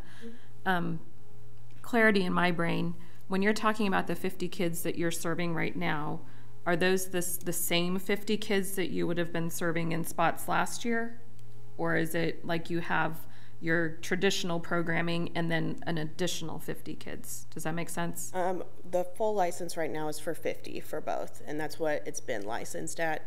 We were not having 50 um, at either. Participate at either Yeah, location. at So either you're op, so it's the same programming, same license, but expanding into being able to use the recreation space? Yes. Okay. Correct. And just, Two quick questions. Mm-hmm. Now I'm, now I'm off. Wait a minute, now I'm on. Uh, Type of activities that you have from the two-thirty or three o'clock start time to five-thirty are? Yeah, so we offer programming in academic success. So we offer homework, tutoring help, that kind of thing. Um, healthy lifestyles. So obviously with the rec center, um, it does help us expand some of that healthy lifestyle programming so that they are able to utilize gym space a little bit more. We were not using gyms um, on the school district side, so that is um, very beneficial to our kids that are attending. Um, and then we offer good character and citizenship programs. So um, them getting out in the community, doing different service projects, learning about how to serve their community and become commissioners. So the gy- gym is a part of it, but it's not a sign, is it half of the time or? Oh, timing wise, um, Yeah. we are circulating kids through the gym the whole time. So Oh. they're doing homework and then they're moving into gym activities and kids are switching back and forth. The other question, Mhm. I think you charge, and my granddaughter, who's now past that and a sophomore in college, but was in the br- program years ago, uh, you ch- charge a hundred dollars for the kids? It's a hundred dollars per semester. Mhm. A hundred dollars And per Do you pay any fee to the, um, to the um, uh, rec, Parks and Rec Department? No, we do not pay a fee to the Parks and Rec. I think we need to send the press release to all of the members of the Parks and Rec Board, in case they haven't seen it. I We've- mean, we've seen You that. got it? Okay, good. All right, thank you. So Linda, I just wanted to Yeah, add please, a you should. comment to this. I think um, the school district has a really good relationship with Boys and Girls Club. I know they did an outstanding job when they were at Ogden about homework and getting them uh, through other activities. My major concern, and I was, um, I had accepted the Boys and Girls partnership uh, for the rec centers mainly because to keep our um, rec centers uh, functioning decently without vandalism or any kind of other bullying or all kinds of other stuff happening with a hundred kids in there all at once. This was kind of a, a solution, a temporary solution. Once they get licensed for a hundred students and have more staff and be able to manage that, would be ideal. And maybe even having uh, other teachers. I know they're already extended, but having paid staff. The thing with our staff is you also, it's not just, uh, you can't just have a bunch of students and a bunch of staff. Staff has to understand adolescents, like you just said. They're just a whole different group of people. Right. You can't just have adult bodies there. That's not enough just to have 100 adult bodies for 100 students. It- won't work that way. So I think that's, that requires a different type of training. And if that's something we want to um, invest in, then we need to do that. But rec centers are different than just having a program for soccer and having somebody as uh, tr- being trained to be a scorekeeper or a coach. But they also, in when they're in after-school clubs, adolescents, um, you really need to be careful because there could be lots of liability issues, even if they're on school property and principals and parents may be in charge of that. Um, I didn't get positive feedback from them being there. And I think this was a temporary solution to the problem, and maybe we can work towards better solutions. Uh, so I think this isn't permanent, but certainly it's a work that we need to continue to talk about. And staff that's going to be there needs to be trained in management of students and adolescents. And the vandalism that was experienced is directly related to lack of staffing, I think, or, and training maybe. Well, I spent some time at both those rec centers last year when, you know, I, I used the term mayhem, wh- which is what it was. And, and, uh, you know, I went this year also, right after school started, before this program kicked in, Thursday, Friday. There were a little bit less kids there initially, but I saw the same thing. There were, there were a couple fights that staff broke up and kids run around screaming, and I'm deaf in one ear, and it gave me a headache, you know, in there. And, and I don't think I'd be prepared to handle those kids because my temper would uh, get away with me, you know, because just the way they were behaving. And they weren't there to play basketball. Some of them were. There were some kids out there did a good workout, but the majority of them were just sitting around the tables with uh, computers, cell phones, watching the TV, and just you know socializing and things of that nature. So, and I talked to the staff, and uh, they were doing their best to con- to control it. And there were a couple of extra ones uh, in there. Some of the pool staff, because the pools had closed, you know, were there. And I asked their opinion, and, and basically now these are the, the, the people actually working the counters, not anybody in management. And they basically said to control that mob of kids that was coming in there, between three and five, you'd have to reinforce each one of the rec centers with five more staff that were trained just to cover it. Because the problem is, you know, they were doing little TikTok videos and trashing the restrooms because that was entertaining. You, you could do that on social media. So you'd actually have to have somebody, you know, patrol the restrooms. Uh, last year, I think we had to lock them. That's what happened. They had to lock them. They had to lock the elevators because they were trashing the elevators. And so that's why you would need five people. They'd, you'd have to have one up on the on the walking track and two of them on the you know the basketball court and one in the common use area. And, and I figured out the cost. I, maybe you could hire college kids to do that, but at fifteen dollars an hour, we'd be kicking up the budget between ninety thousand and a hundred thousand a year to make that happen. And so that that's the attractiveness of the Boys and Girls Club uh, solution. And I understand the frustration. You know, people are saying, well, you know, the public can't use it between three and five. Well, my experience last year was, and, I, and my wife and a number of the, my friends play pickleball, and some of them liked Anthony, but they punched out of there at 3:30 because they couldn't handle it with those kids in there. They're older guys like me, you know, so they can't can't function in that kind of an environment. So they just left. So, you know, personally, you know, I see the problem, but it's only for a couple of hours, and and it it, is, you know, you got to balance it. So I think right now this is the best solution for right now. Long term, you know, if you can get the licensing up and we can get, you know, 100 or more kids in there, that's even better, you know, because it's structured. The downside that, that people have sent me is, okay, you got to pay $100. I think you have to pay 30 to join Boys and Girls Club. So, you know, it's $100 a semester and then 30 to join. Does that stress any families? But I think there are some scholarship opportunities. Yeah, if I can speak to that. Um, we do offer scholarships. Parents can apply. Um, we often scholarship the whole thing for families or put people on payment plans. Um, we don't turn away people due to an inability to play. Yeah, and I don't know, you know, uh, if the city could look into subsidizing that some way. In other words, when I think about having to hire additional staff for hundred thousand dollars, would we be better off to say, why don't we just add about forty thousand into scholarships? And, and that's still a good partnership with Boys and Girls Club, but that's just brainstorming uh, options because, uh, you know, it, it, it is difficult to, to solve this particular problem because I, I don't think anybody anticipated, you know, that becoming a after-school daycare center when the centers were built. We thought, yeah, kids would drop in there and play basketball, but if you physically go there and look at it, you'll see that's not what was happening. We need, we need to move on. Just make one comment here. I think our future challenge here with the middle school rec centers is we have to protect the ability for the public to use those facilities. So this is where we're at today. We're not going to change it. But let's remember that these were built for the public and to reduce the, uh, the operational time for the public to be there uh, is not where we, that was not our challenge when we built these. And it wasn't what we sold the public.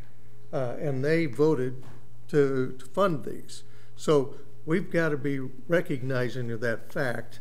And if something else comes up and somebody needs to shut that, uh, the courts off to the public, we better look at that and scrutinize that request very closely.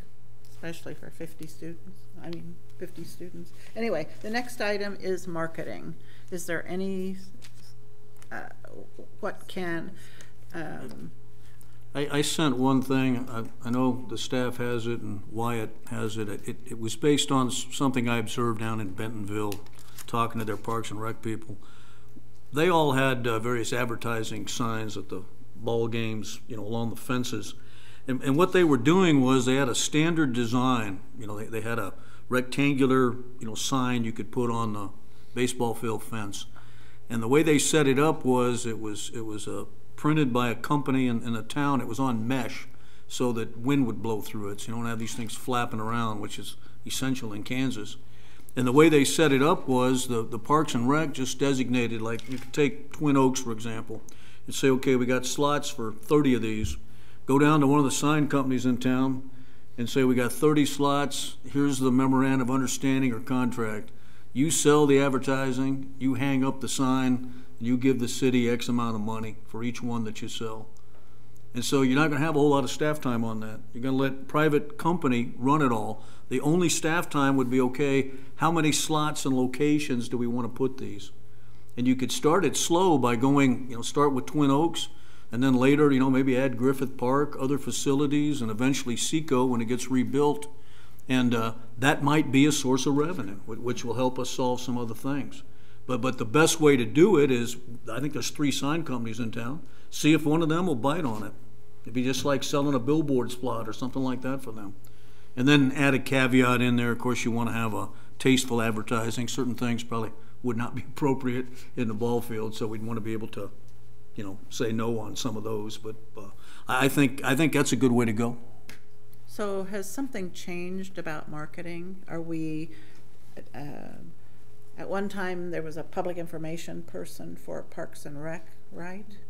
Do we, and that is no longer there. I know the zoo has one, the- I mean, they're specialized in the city. So, and you mentioned at the very beginning that the city manager's PIO is doing Parks and Rec. And I don't know how that's changed over the last couple of years. And COVID is a deal breaker for everything. So I, I, you know, I'm not trying to, For the, the last several years, we have had a community relations officer. It's been a position within the Parks and Recreation Department.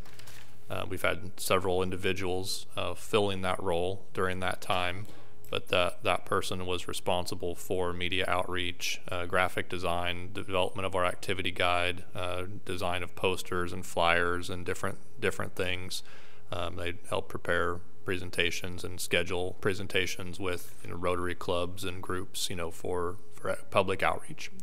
Um, that position was open for a period of time, um, and then it it we moved that position to under to report to the public information officer.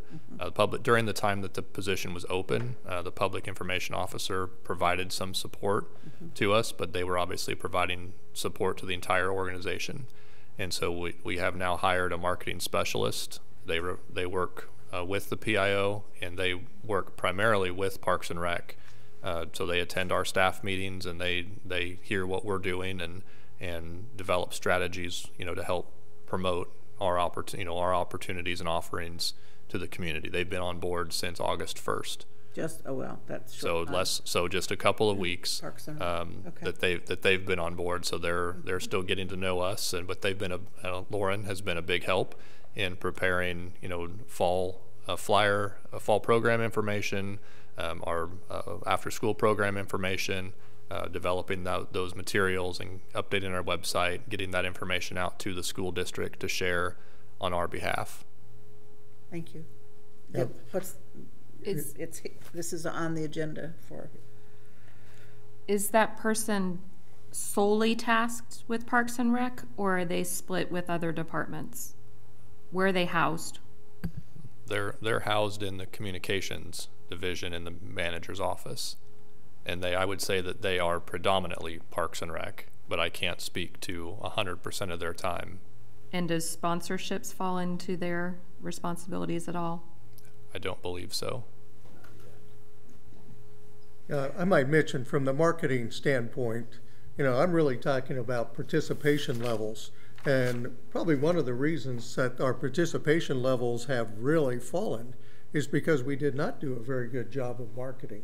We didn't get the word out to the community that we had these programs. And if we've got a person now that's charged with that, then we'll see, I'm, I'm sure, a turnaround. But for a period of time, uh, I think basically, and we talked in Parks and Rec meetings, uh, we, uh, we used Facebook. And that was about it. And that was easy. Uh, but that doesn't cover the entire community and doesn't get the results you need. And obviously, we didn't get results. So we've got to, I think we have to uptick our marketing uh, abilities, strategies, workout strategies. You know, uh, marketing is a huge part. Ask the ad agencies in town; they'll tell you uh, that uh, in order to be successful, you have to have a good marketing plan, and we should uh, have that, keep that in mind when we're doing our programming. Okay, thank you. Um, it's ten to eight, and so we need to move on. Uh, the next is the status of programming, the elimination of, of programs. Um, who wants to speak to that? I think we talked about getting a Sue uh, and uh, getting a report of the programs that have been lost or abandoned, but if that's the right word. Um, You know, we have discussed that and participation levels being down. Mhm. I think the uh, the big one uh, under this this uh, particular area is privatization, and uh, we've had mixed signals uh, coming back from uh, City Hall about privatization, and the public uh, obviously in our uh, forum um, hasn't seen privatization as a good way to go. Um, so I think we need to discuss that with the city staff. Where are we going with privatization and what does it mean and how are we defining privatization? What I may think as privatization may be a whole different thing from city staff's interpretation. So we should get an indication from them where they're going with this. is Boys and Girls Club privatizing? I mean, uh, definition wise, uh, that's what you're saying, is clarify what it means. Yeah. Okay. Mhm. Okay, Well, I think the fear on the privatization concept was everybody thought we were going to traveling leagues. And, I- and I know that's not what the intent of the staff was. So, so the, you're, you're right, the operational definition of what does privatization mean, making it pri, what does that mean? What's the operational definition? And that's, that's unclear, I think. To me, it, it, it was more of an idea of let's collaborate and, and figure out how to, you know, combine resources, like the idea of, uh, you know, partnering with the senior center. That's not making it private, that's, you know, expanding it, or, or if, or if there are certain clubs out there, like the, the thing that was done with soccer that works, you know, great. But that's not forcing kids into traveling leagues. And, and I think that's what most people read when they, when they saw that term used, they thought, oh, we're gonna get rid of all sports and it's all going to traveling leagues, and I, and I do not believe that was the intent of the staff. okay. Anybody So else? I do have a question with soccer, and maybe Wyatt can answer this. So when, what, it- so SKV and Puma have taken over the rec league of, of what Parks and Rec used to do. What is the benefit of them doing that? I mean, why, why are they willing to take on another hundred kids at a, at a fifty dollar level to do that basic rec league versus a lot of their emphasis is traveling?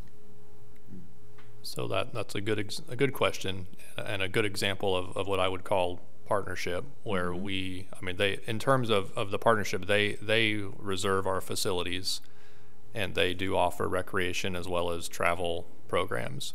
When that was negotiated several years ago, there was intense competition for the uh, turf field Facilities. at Anneberg. Mhm. We had multiple clubs as well as our leagues, Mhm. and we were trying to schedule all of those groups on top of one another. Mhm. And so staff met with the with the clubs and, and worked out an arrangement where they would be able to run their events on certain nights Mhm. and they would take the the rec league aspect into their programs at a similar cost and offer scholarship opportunities for kids and then that would work it worked best within their within scheduling that facility and scheduling the whole of Anneberg uh, to to make that work rather than So our, our rather than our programs trying to compete for space. Typically, we would give our fee, our club or our programs priority on fields, and just as we worked through the details of what schedules would look like, it made sense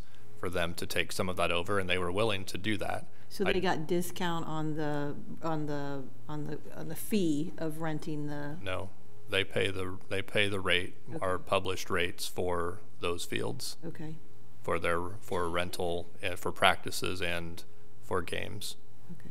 It seems at a time when our participation level is going down, the participation level of the clubs is Going up, absolutely. is doubling, has Absolutely. doubled. I Right. mean, so But- there's But again, this- we don't want to lose those kids that don't have the desire or the ability or the finances to do club. We want to keep the rec league, and that's wonderful that Puma and SKV have taken over those, those rec leagues. That's a great partnership.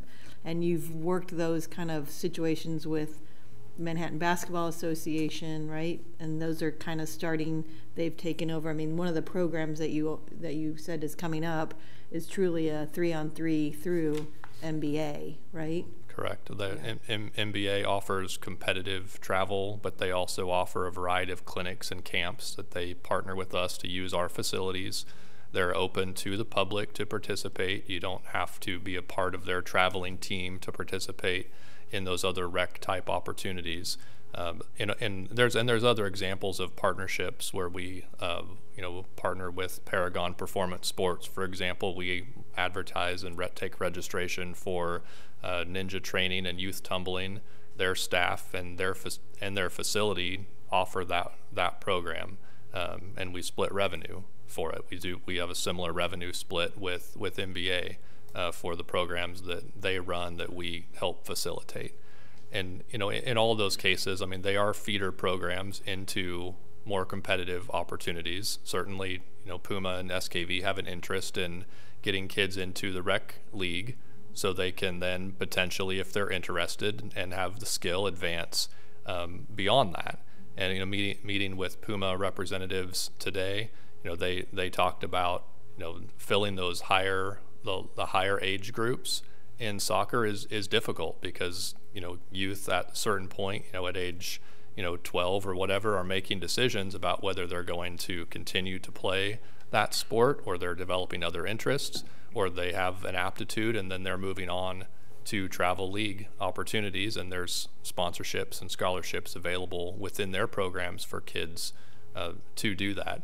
So you know as sue mentioned we have multiple uh, program offerings over the past five years that have that have been reduced and our participation numbers have reduced. And that and that is true.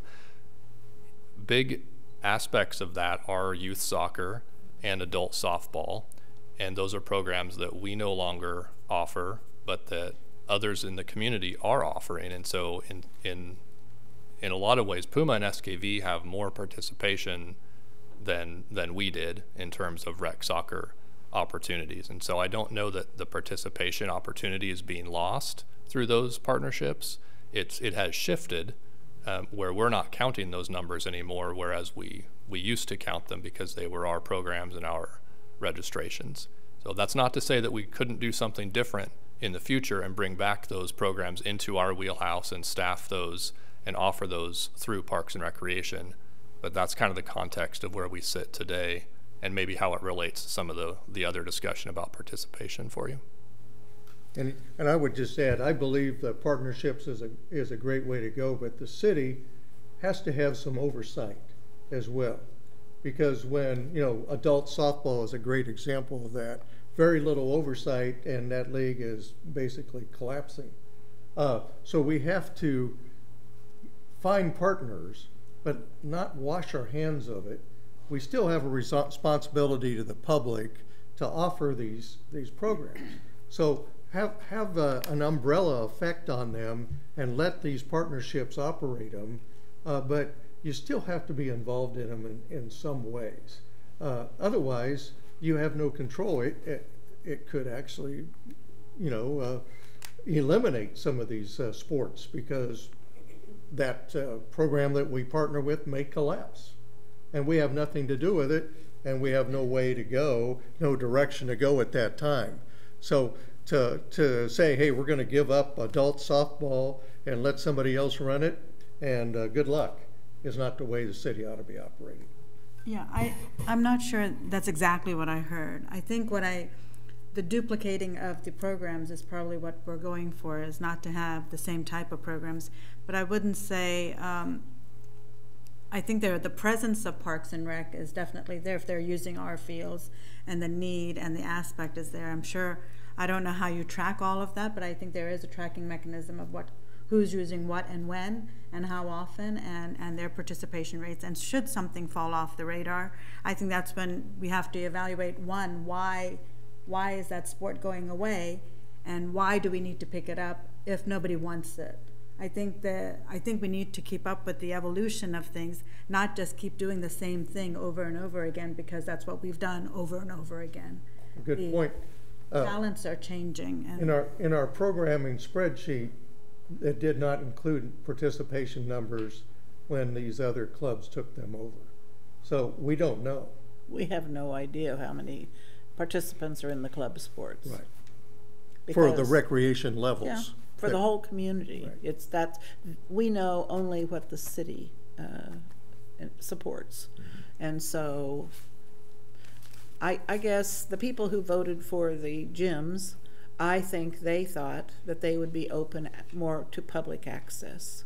And so when we start uh, closing them for certain periods for a special population, I, uh, I want that to be, I, I don't know if the city is in the business of just providing the facility and somebody else runs it, or if we have a role in also providing programming there, and is that not our pri- pri- primary uh, uh, purpose? Uh, the clubs, you know, are making money or they would not be doing what they're doing, and that means the city is not making money uh, because we've we're transferring the uh, programs. I think we I- need to move on to this. I- yes. in my microphone. Sure. Yeah. Please. May or may not work. Sounds like it is. Um, a, a couple quick things on this topic, 'cause it's one that concerns me a lot. One is um, soccer may be a, a successful model and has worked, and I've coached with Puma this past year, uh, and it was okay from my experience. I actually enjoyed Parks and Rec a little more. I thought it was better structured and the communication was better, but um, but softball's a mess, and um, the amount of people who used to play adult softball in this community has dwindled to almost nothing because the, the competition, the, the folks that are playing are extremely competitive, um, and there is not a place for less competitive teams for your church teams or your teams from your from your office or any of those things. There's not a place for that. The amount of alcohol consumption that's happening in the dugouts, those types of things that are really making it, in my opinion, not a very safe environment, especially when we have children sharing in the same area. Uh, we often have games of both that adult league and children's leagues in the in the diamonds at the same time.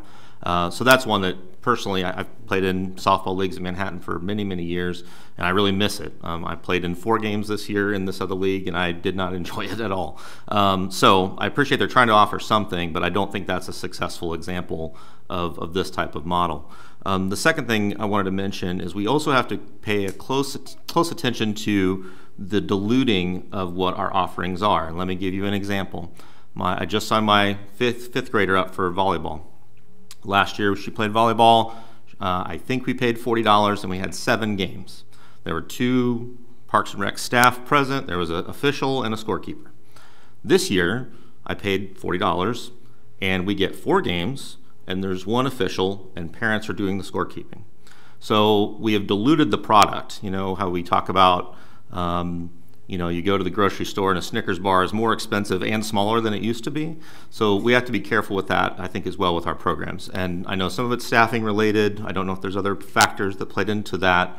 Um, but I was a little disappointed when I signed up my my child for that that she's only going to get to play four games. Um, if I'm reading everything correctly, I haven't seen a schedule yet, but uh, once that comes out, I'll double check.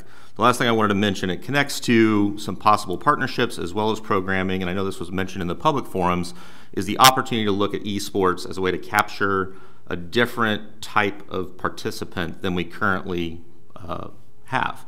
And um, K State is ramping up its esports program significantly right now, um, and uh, it's definitely an arena that you can go to uh, to access kids differently. And so I know nothing about esports, so I'm no help.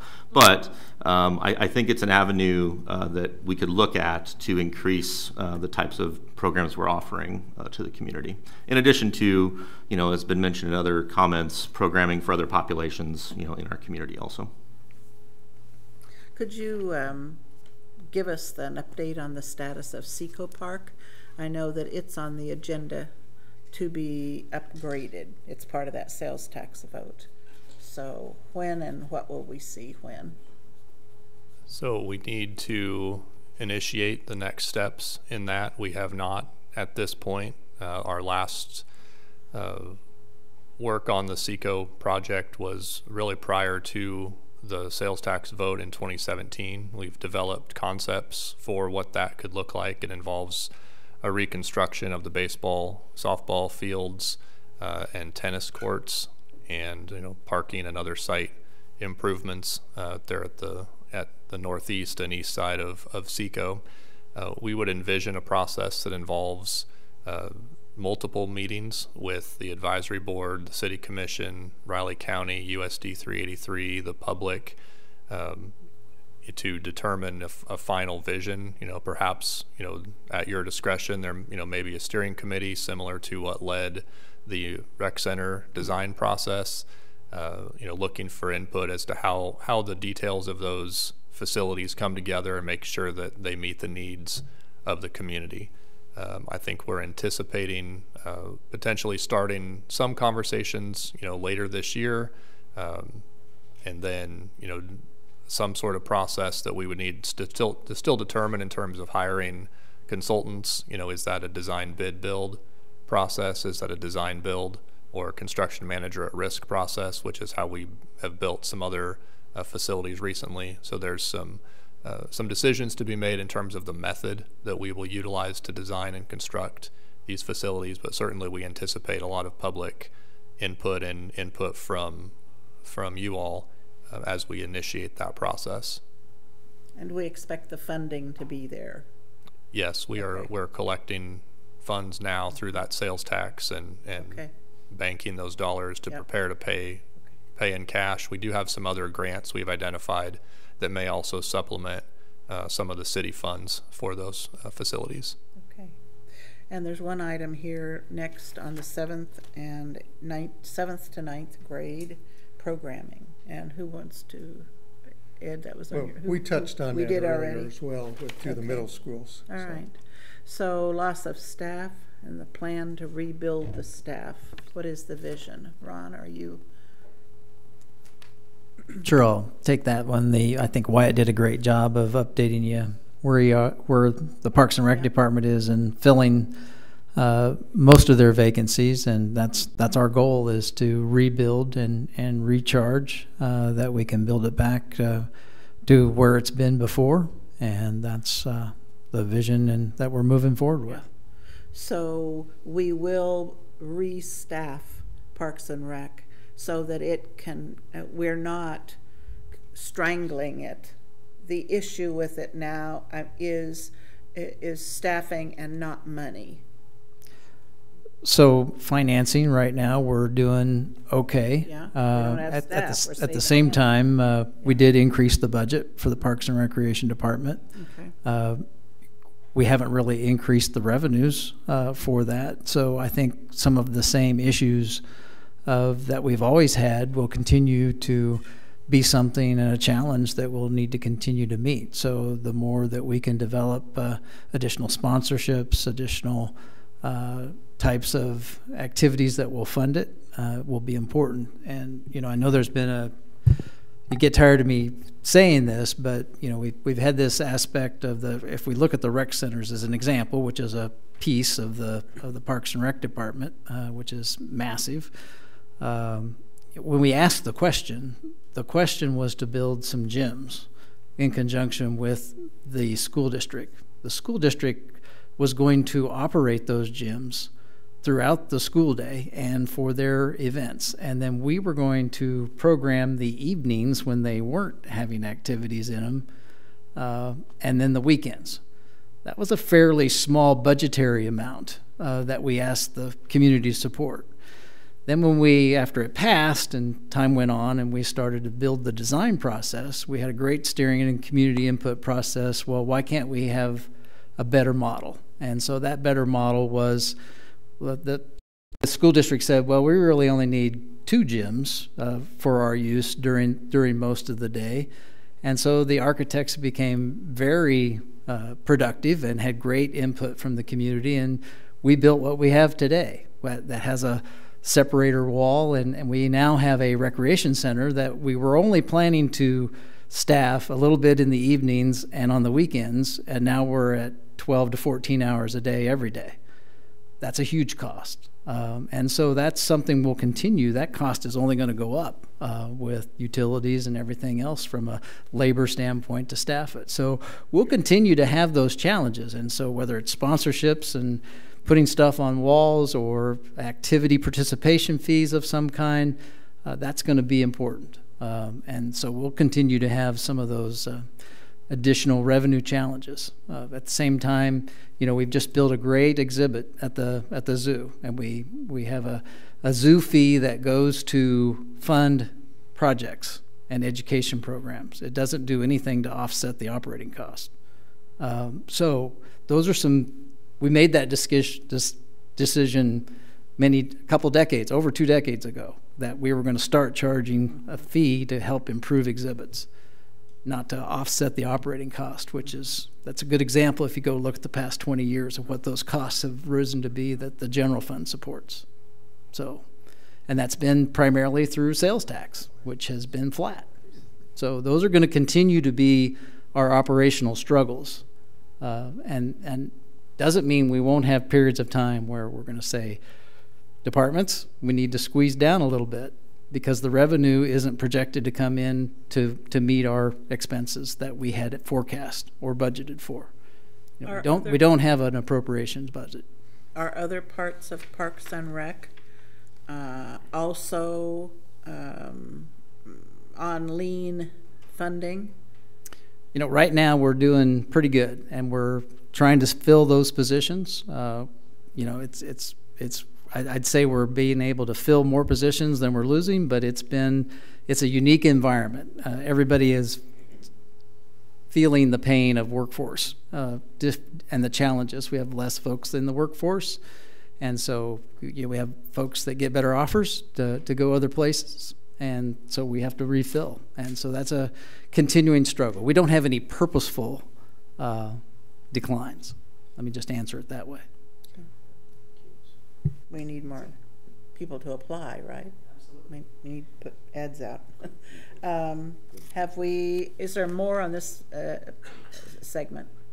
I, I just have one question that I missed my opportunity to interject earlier, but Mr. Fehr bringing up the um, rec centers again. Um, you had mentioned that there were some troublesome youth. uh, as far as our policies and things are are kids being asked to leave like when they, when they are doing those sort of things can we you know let parents know like that's not acceptable and your child will be asked to leave and at that point you're responsible for them?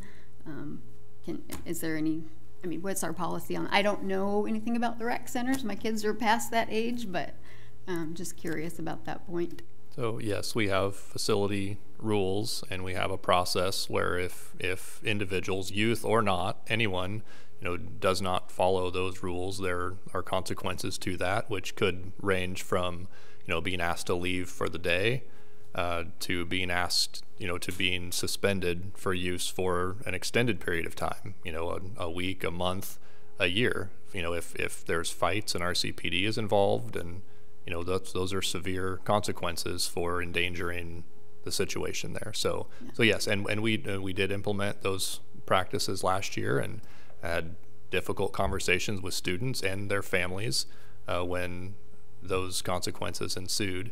Um, obviously, our our goal is to provide a safe, positive environment, and we certainly want participants to follow those those rules and, and participate in a way that allows them to come back. Right, and that's for the whole community, not It is. just our youth. And so it is a public facility, so just being respectful to the general public is probably a good rule of thumb for all of us when we're there, so.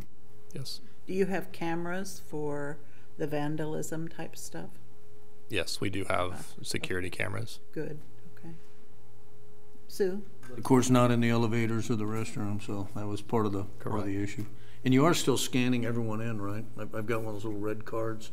When you, when you go in the rec center, you get scanned in, so you know who's been using it when. Yes, was yeah. So everyone either you can scan your card or you can give your name. If you're a regular, we probably know you, and we'll we may punch you in as you walk by and say hello. Uh, but yes, we are we are tabulating those drop-in, walk-in users. Sue? Since we're back on rec centers, I had a question while Hannah's still here, sorry.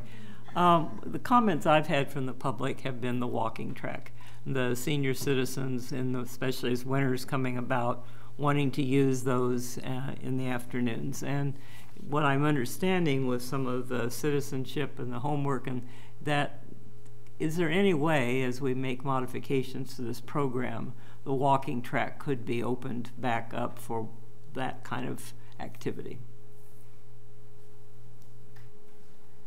So any adults that would be in the facility do have to be uh, background checked. So volunteers or staff members have to be background checked.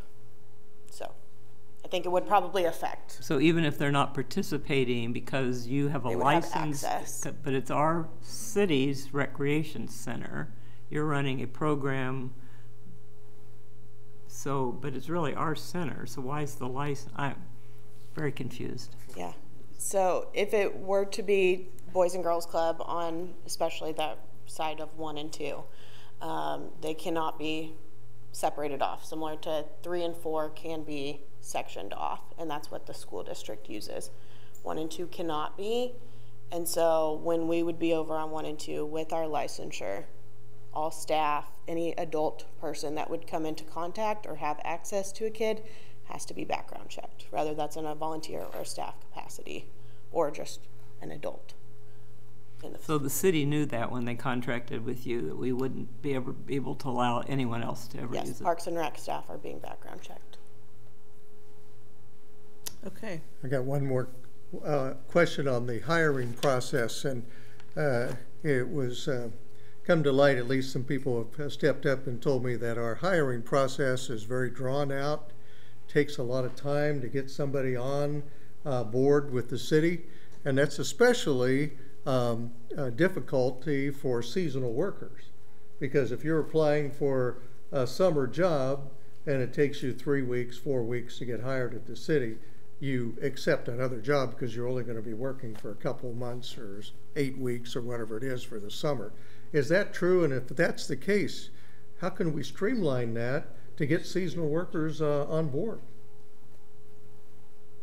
I'll just say that uh, our HR division, which has been short staffed from time to time, right now I think they're down some staff, but they've worked with uh, the various supervisors to try and work on some better recruiting stuff. You know, I think uh, just as an example, uh, I look, I was worried that we weren't going to be able to open three three pools this summer because I didn't think we'd be able to have uh, enough success in doing that. But uh, we were able to do that. So uh, I I think there's uh, uh, certainly opportunities that our staff have stepped up. Both in HR and other places, but there is a lot of background information that we need to have for those types of events. We have hiring fairs and different uh, types of episodes, but we have situations where certain paperwork has to be put in place to before they can start work. And so those are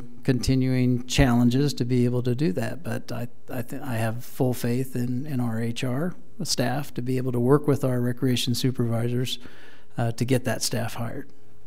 I, I do know we have problems with seasonal workers and the numbers to hire. And if the HR process is part of that problem, we should at least scrutinize that process. So uh, I was going to say, um, I don't know, Tammy, if you can speak to this, uh, how the hiring process works. I certainly don't want to put you in the spot, but I do know there's sometimes um, it is probably a longer process, and even if they're if you're understaffed, just as uh, Hannah mentioned about background checks and working with youth and all of these things, and if you can just go through that part of how you hire somebody, even for a seasonal worker, would be very helpful, so we can understand where the gaps are, what we can do better uh, where you might need more assistance, or if it's working well, but we've just had a lot of people we couldn't hire for a variety of reasons. Sure. So, Sorry, I hadn't drank in a little while, so my voice is a little froggy.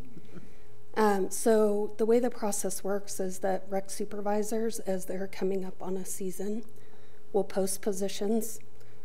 As applications start coming in, they get a notification if they've signed up to receive that by email or directly through Paylocity every time they log in. They go to the, rec- the recruiting module, review applications, rec supervisors, and this process hasn't changed for a while. Rec supervisors interview the people that they want to interview for the positions. When they make a determination that they're going to hire that person, they submit a request to the administrative team in Parks and Recreation to send out an onboarding plan to those recreational employees. The um, administrative team in Parks and Recreation then reaches out to those um, candidates directly through email in case they didn't get the notification from Paylocity so that they know they can log in and complete their onboarding. Um, I think that through all of this, it's been talked about there are 29 steps in that process. Nine of them are internal steps. Um, and we have people complete that process in as, in as little as five minutes, and other people can take weeks to do it. Sydney Baker, who you all know is our rec- recreation specialist for aquatics, hires about 150 or 200 people in like two months. So the process can take as little time as, as it can, or it can take a long time. It does require supervisors to follow up with the candidates and make sure that they're working through the onboarding because there are so many people in onboarding at all times. Um, we generally have at least 100 people in onboarding, especially during times when recreation and aquatics are hiring. That, that module is very busy. Um, that's in addition to all the other positions that we're hiring across the organization anyone hiring, any hiring manager that's hiring is responsible for um, staying on top of that onboarding and making sure their candidates are working through that process and getting through it because there are supervisor steps along the way that need to be completed to make sure that they can get successfully onboarded.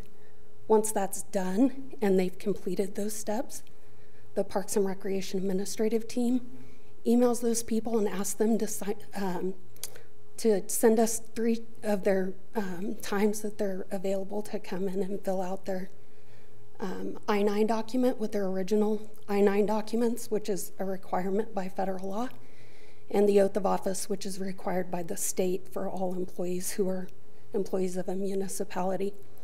When we receive that email, we set up that appointment. Generally, at their first available time, they come in. Excuse me. They come in, they meet with HR, they fill out those documents. We click a button in Paylocity that allows that person to clock in. And as soon as it's done, they can start working. Yeah, thank you. What'd you say, Christine? Yeah. It, it, it can go really fast or it can take a long time. It just depends on the person.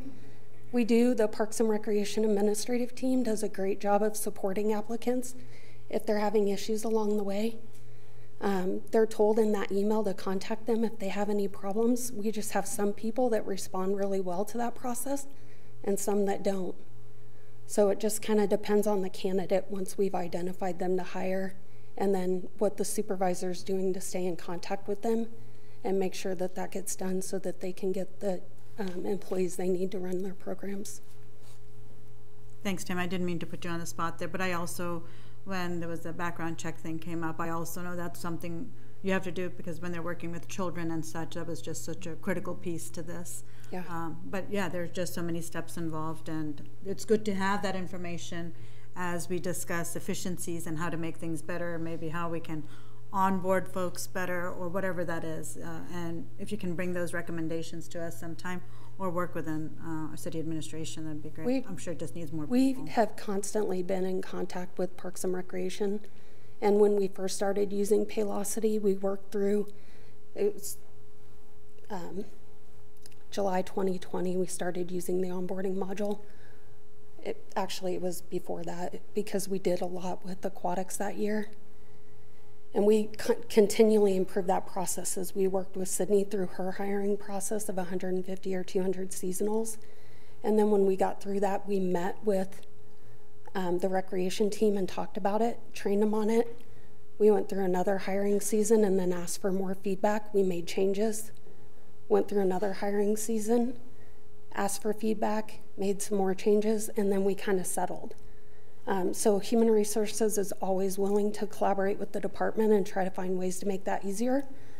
But as Ron and Ron pointed out, there are some things that we have to have in order to be in compliance with laws, to have employees, and to make sure that they understand what we need while they're serving. One uh, uh, question, sounded like uh, the supervisors are pretty important in the stepwise to get the uh, approvals done. And if those positions, more than one, are vacant, what happens then? For seasonal employees, Well, yeah, uh, to, to fill those slots uh, of uh, checking all these applicants out, if the supervisor positions are vacant, who else picks up the slack in order to keep the process going? That, that'd be delegated to whomever is And there are other picking up the slack for the program that needs the employees. There are other people to be delegated to then? Or, or is that part of why we're ha- having this whole Discussion. evaluation? So, Tammy, I can. You may not be in a that. position to answer it, or, but anyhow. Yeah, I don't- Wyatt don't know or Ron, maybe you want to step Yeah. in on that. So I, I can speak to how it's worked, you know, in the past couple of months as, as we've been down staff. Uh, you know, we, we had ex- other existing recreation supervisors that were filling in multiple roles and they were managing hiring processes for programs that were not traditionally theirs. Um, our administrative team that, that Tammy spoke of, a key piece of that is Janelle Fritzen, who's our operations officer, and she has managed a lot of those hiring processes, both with full time and with working with HR and, and Tammy specifically, as well as our, our seasonal staff. Um, now that you know we have more staff on board, I, I see that process going more smoothly, uh, at least from from in terms of the steps that we participate in. It does always get back to the applicant's initiative to read their email and respond and, and do their steps of the of the process. But but yes, we do place a high level of responsibility and accountability on those supervisors to hire the people that they need to manage the programs that they have planned. I don't know how many comments. Thanks.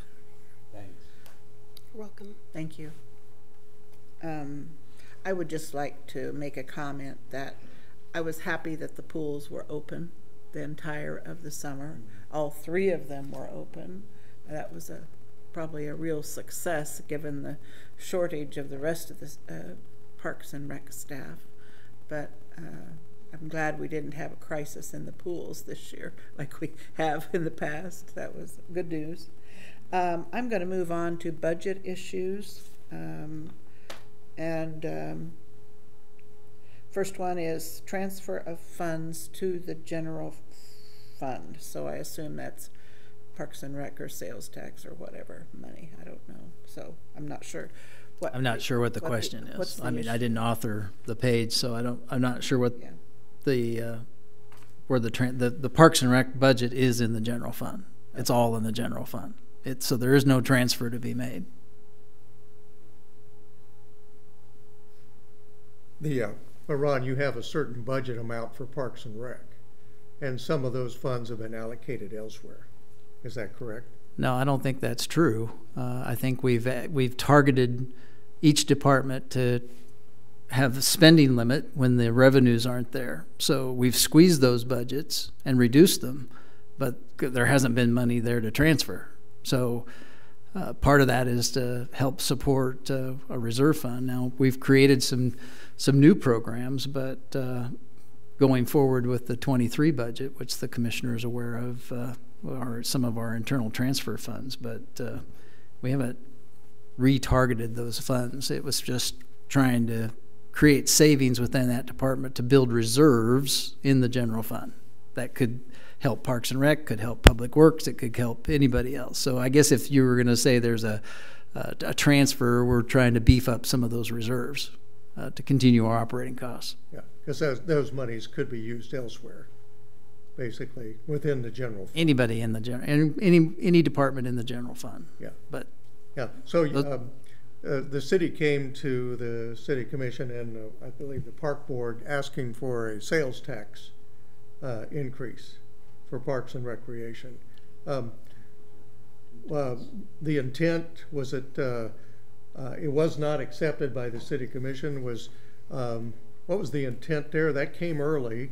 Tell me about that. Sure. So it was a recognition of uh, a way to try and provide some dedicated funding. One of the things we've talked about as uh, we have future projects is that we should look to part of the question that we answer folks to support would also include some operating and maintenance funds, not just construction funds uh, so that there's a, a, revenue mechanism there. And so the, the intent was to ask a question and put it on the ballot for a two tenths sales tax that would specifically support Parks and Rec uh, as a revenue stream and not be subject to be able to be used somewhere else to help support the operations. We didn't, we wanted to get feedback uh, from the commission. Obviously, there was the, the late timing of it was such that there's a deadline uh, in order to get something on the ballot for, for November. And so that was uh, that was the thought process. And, and yes, it did come around very quick, but uh, obviously the commission wasn't uh,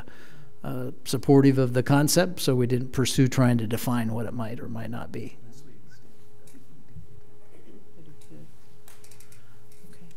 All right. Um, and then the next one is funds required to run the department. And uh, we just need just to operate, understand operating that. funds. Yes. Yeah. Where is the department? We need to understand the, the total dollars needed to run the department with all the things we've discussed tonight. What's it going to take to make this work? And I don't know if we can have that number tonight, but certainly within budget building, we need to look at uh, how are we going to afford to make this Parks and Rec department run as we've uh, as we've uh, pointed out tonight and how. And, and basically, Ron, Ron, you know, you've said that Parks and Rec budget is all general fund. I, I get that, but there are two dedicated pieces. The, the special alcohol tax puts a third of that goes to Parks and Rec, is my understanding. So that's dedicated to it. And then the quality of life sales tax that's been passed, of course, that's dedicated now to finishing CiCo and whatever. And in the long term, I'd like to see that renewed, but with the caveat that the money could be spent on operations. And that won't be for a couple of years, but uh, that's one of the reasons I didn't want to see a, another sales tax on top of it for Parks and Rec. I think we have the opportunity to renew that in the future. But, but I think what Ed and the Parks and Rec Board like to see is maybe, okay, here's what we're getting, special alcohol money. Here's where this is coming in. And then this is the mill levy portion of it, essentially property tax. And, and you know, what's the case for raising that? And I'm never a fan of raising the mill levy, but you know, here's a case where can a case be made to say that there's not enough there to run Parks and Rec, and the citizens want to run Parks and Rec, and therefore we need to raise property tax, which uh, Jason would like that comment. But uh, but you know, if that's what it's going to take, fine. I mean, that's that, that's really the definitive answer. And if you don't do it, then sorry, you know, here's the programs we can't run. Well, we got to reduce hours. Yeah, I, th- I think that's a, a good summation. Uh, you know, right? Really, there are no property taxes going to. If we were to assign the, the mill levy in the general fund, and you asked me to do that, it would fund half the fire department because that's probably the most critical organization in the general fund, and that's that's all the, the property tax levy in the general fund would fund. Um, the the special funds traditionally we've used the special park and rec fund uh, for CIP items. We've used it for projects. We haven't, um, to my knowledge, I don't think we've ever used it for funding people.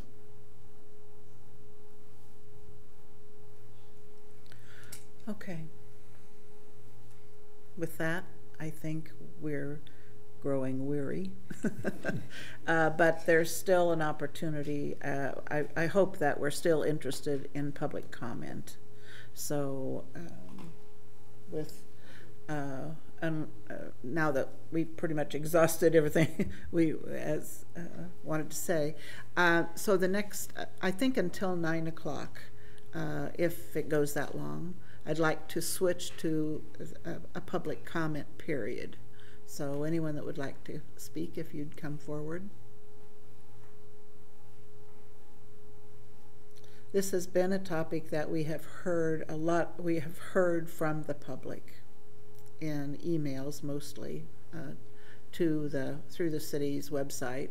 And uh, it's, it's hard to read an email and say, and and know exactly um, what's happening, and uh, there's then then you talk to the city person administrator responsible, and you know it, it's hard to pick our way through it uh, and know just what's the right next thing to do. So, um, if you have something you'd like to contribute, please come forward.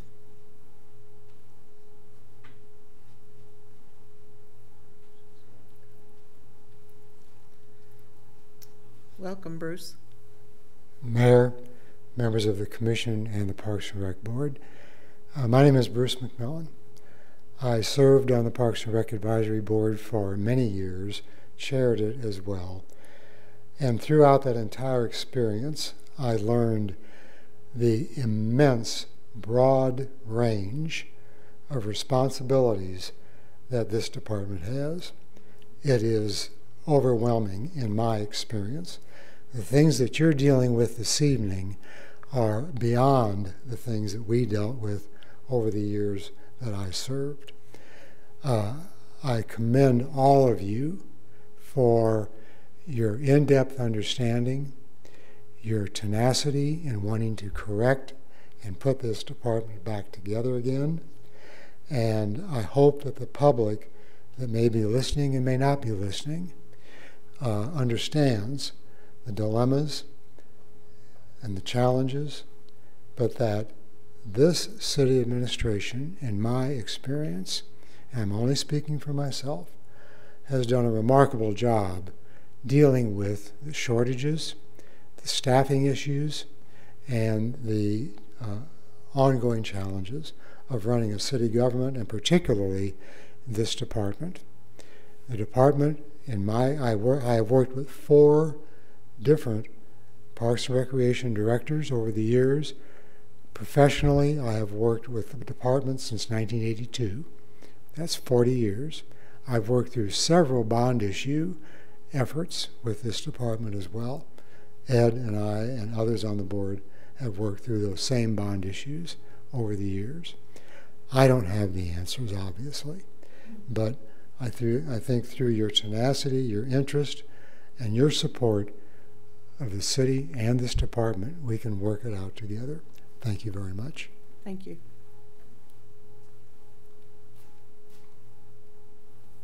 Does anyone else wish to speak? Please come forward. It's a big department.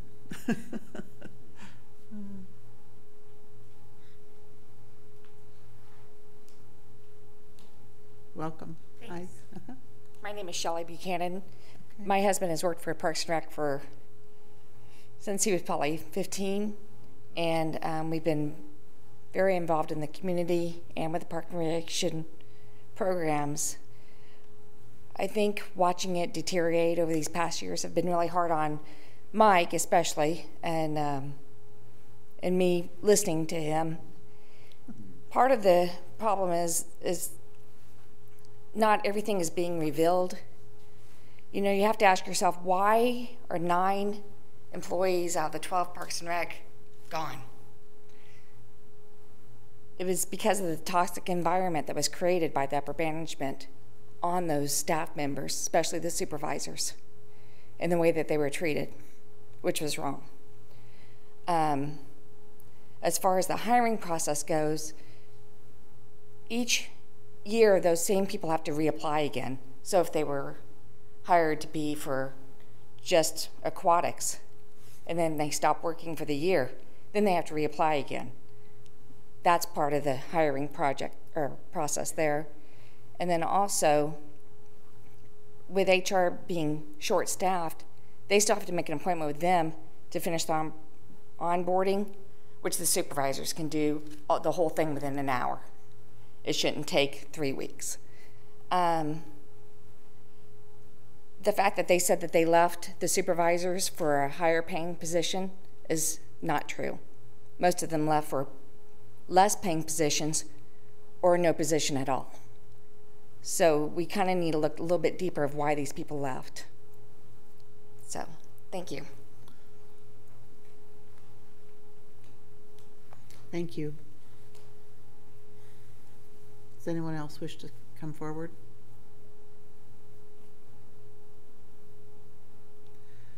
Okay, seeing no one, I will close the public uh, comment period. Is there anything else that we need to do or know before uh, we have a motion to adjourn? I would just like to go back to Wyatt and Ron's beginning about building this comprehensive master strategic plan. I mean, we have so many arms going here about this problem, that problem, and programming. But if we really look at the mission, the programs, the facilities, the cost recovery, all those things together, I think we have to go forward with a good comprehensive strategic plan that gets public input. How we get that public input, not another forum, you know, there's other ways, but to me that's got to be the, the a, a, strong future direction for us is to have that plan in front of us that says this is where we're going. And I think that was uh, what we committed to at the beginning of this year. Uh, and if we're not careful, it's going to slip slip away, and we aren't going to get it done this year. So, um, question is, um, how quickly can we get it done, or get? Uh, what if we were to start today? When would it? Uh, could we have it would we have it in time for next summer? Would it be uh, spring? How long does this study take? Well, I think we have to define the study first. Yeah, I know. Um, and, it, and it's pretty broad, so it's something that uh, I think we would want uh, a lot of uh, discussion on developing that, that scope. Uh, our goal, at least initially, and, and when we made that goal at the beginning of the year, we were had a lot more staff. So right now we're looking at trying to rebuild and stabilize uh, before we take on a big task because Wyatt's wearing several hats, several folks are wearing several hats, and so we'd like focus, folks to be on board and in a position to where single hats are being made. That's rare in the organization, but and we may not find that. But I do think it's something we need to keep in front of us uh, so that we can we can better define and then establish uh, uh, that scope and that process and a timeline for it. So I think it will take uh, several months and a number of different uh, types of engagement that will make it more successful. Uh, by the time you go out for an RFP and get proposals. I mean, I don't think we can do it in time to really affect 23 programs, if that's Yeah. what you're getting at. I think it would be uh, This calls for a longer whole- term. holistic evaluation of all parks and rec facilities, including missions, programs, activities, fees, and cost recovery models. The evaluation should consider community priorities and how they may impact existing services, park master plans, staffing, and fees. Um, I mean, one of the topics that we've talked about with fees is whether to charge people from uh, out of the city an additional charge because they aren't contributing to the costs of the city programs uh, with property taxes. I guess they are sales taxes, probably. I mean, that's one of the extreme things that, that's been bandied around ever since I've, I think, since I've lived in Manhattan, and I don't think we've ever charged it, and we probably wouldn't again. You can't, I, I just view it as kind of a divisive, um, something that's device, that would divide uh, the community, because our community is bigger it, it's you know we, we think regionally we think about the whole of the community so I'm, uh, you know, I'd have to really think about that one before I'd support that. But there are others who may have other thoughts, especially when it comes to paying for some of this. And um, so I, uh, I don't, there's, in other words, there's nothing that's going to be accomplished with regard to this I, strategic plan item in the next year. Well, I think within a year. Well, yes, uh, not you said not, not within the rest of this in, year. Not in 2023. So. Well, I I think it would be hard to have a completed plan that would influence what we might do in 23. But as Wyatt said in his presentation, that's part of the focus and the analysis that's ongoing with uh, looking at the various programs and how we can the partnerships, continuing partnerships that we can develop uh, to build that 23 program list, and obviously uh, those will vary by season. And so, as you, we do something that's comprehensive with a, I mean, we, Jared, with nine months on our overall strategic plan. Yeah, yeah, it took uh, about 10 months. 10, 10 months. So, I mean, it's a, the entire city. it's almost a year long process mm -hmm. in and of yeah. itself. So, uh, you know, I would hope, uh, you know, by this time next year, we'd be talking about, you know, what are those implementation aspects for a new strategic plan for Parks and Recreation. Okay. So that answers that? your question. Is there any piece of this that is a higher priority than another that we don't want to wait a year for? Maybe that's a question. I don't have any. I, I would think what we talked about with the advertising, like the sign things, we should go for that, for the sponsorships, we should go with that and set some goals and get that going. I don't think, you know, we need to really wait around for that part. I think uh, with a new supervisor uh, being on board and bringing that experience, um, superintendent, sorry, uh, would be very helpful. I think since he's just now came on board, I think there's probably lots of ideas there. And now you've been part of this listen, listening piece, and to have as more people are hired, I think I think uh, it's been made clear about sponsorships, marketing, um, recruitment, and just marketing not only in the sense of sponsors, but how to get people to know about our programs, partnering with USD 383. So I think some of those things that you bring to the table would be very effective, and maybe to reevaluate in three to six months again and see where we are with all of that, and uh, whatever processes you can bring forward as far as um, a marketing person or a sponsorship person that's delegated those duties. I don't know what that looks like, but I think we are we probably did this before, and we just need to bring it back, uh, revitalize it, and add more components to it, so it's a little bit more revenue, um, more of a revenue for us than prohibiting as far as cutting programs and such. And I would I'd make a request from the Parks and Rec Advisory board standpoint that this is a roadmap and let's add some more content to our meetings and let's see where progress is being made because you don't need a strategic plan to do some of these things. Uh, this is just general operations. And uh, so let's have some of that content in our Parks and Rec Advisory Board meetings and let uh, the, the advisory board then pass that on to the city commission as far as where we uh, where we see things going and approve, disapprove, uh, agree, whatever. But let's add some content to those meetings. I think it would be important for the Parks and Rec Board not to find out about a contract with Boys and Girls Club after it's already signed. I mean, their role is to advise. and, uh, and like when the pools are going to be closed or there's just an announcement, I think we need to know, uh, have some advance uh, information. Okay. The, uh, the first step, though, would be the, for the commission to address the bylaws for the committee, because as stated. We have to receive them from you with a recommendation. Okay. I mean, that's the What we want it to say, what we want our role to be, is that, I just want to You've sure. been we're wrestling with clear. it. We You've should, been- we should bring that back to our next park board meeting and have a discussion on, uh, uh, what everybody feels should be the, uh, intent. And, uh, then we can, we can whittle that down. I think that's the proper way.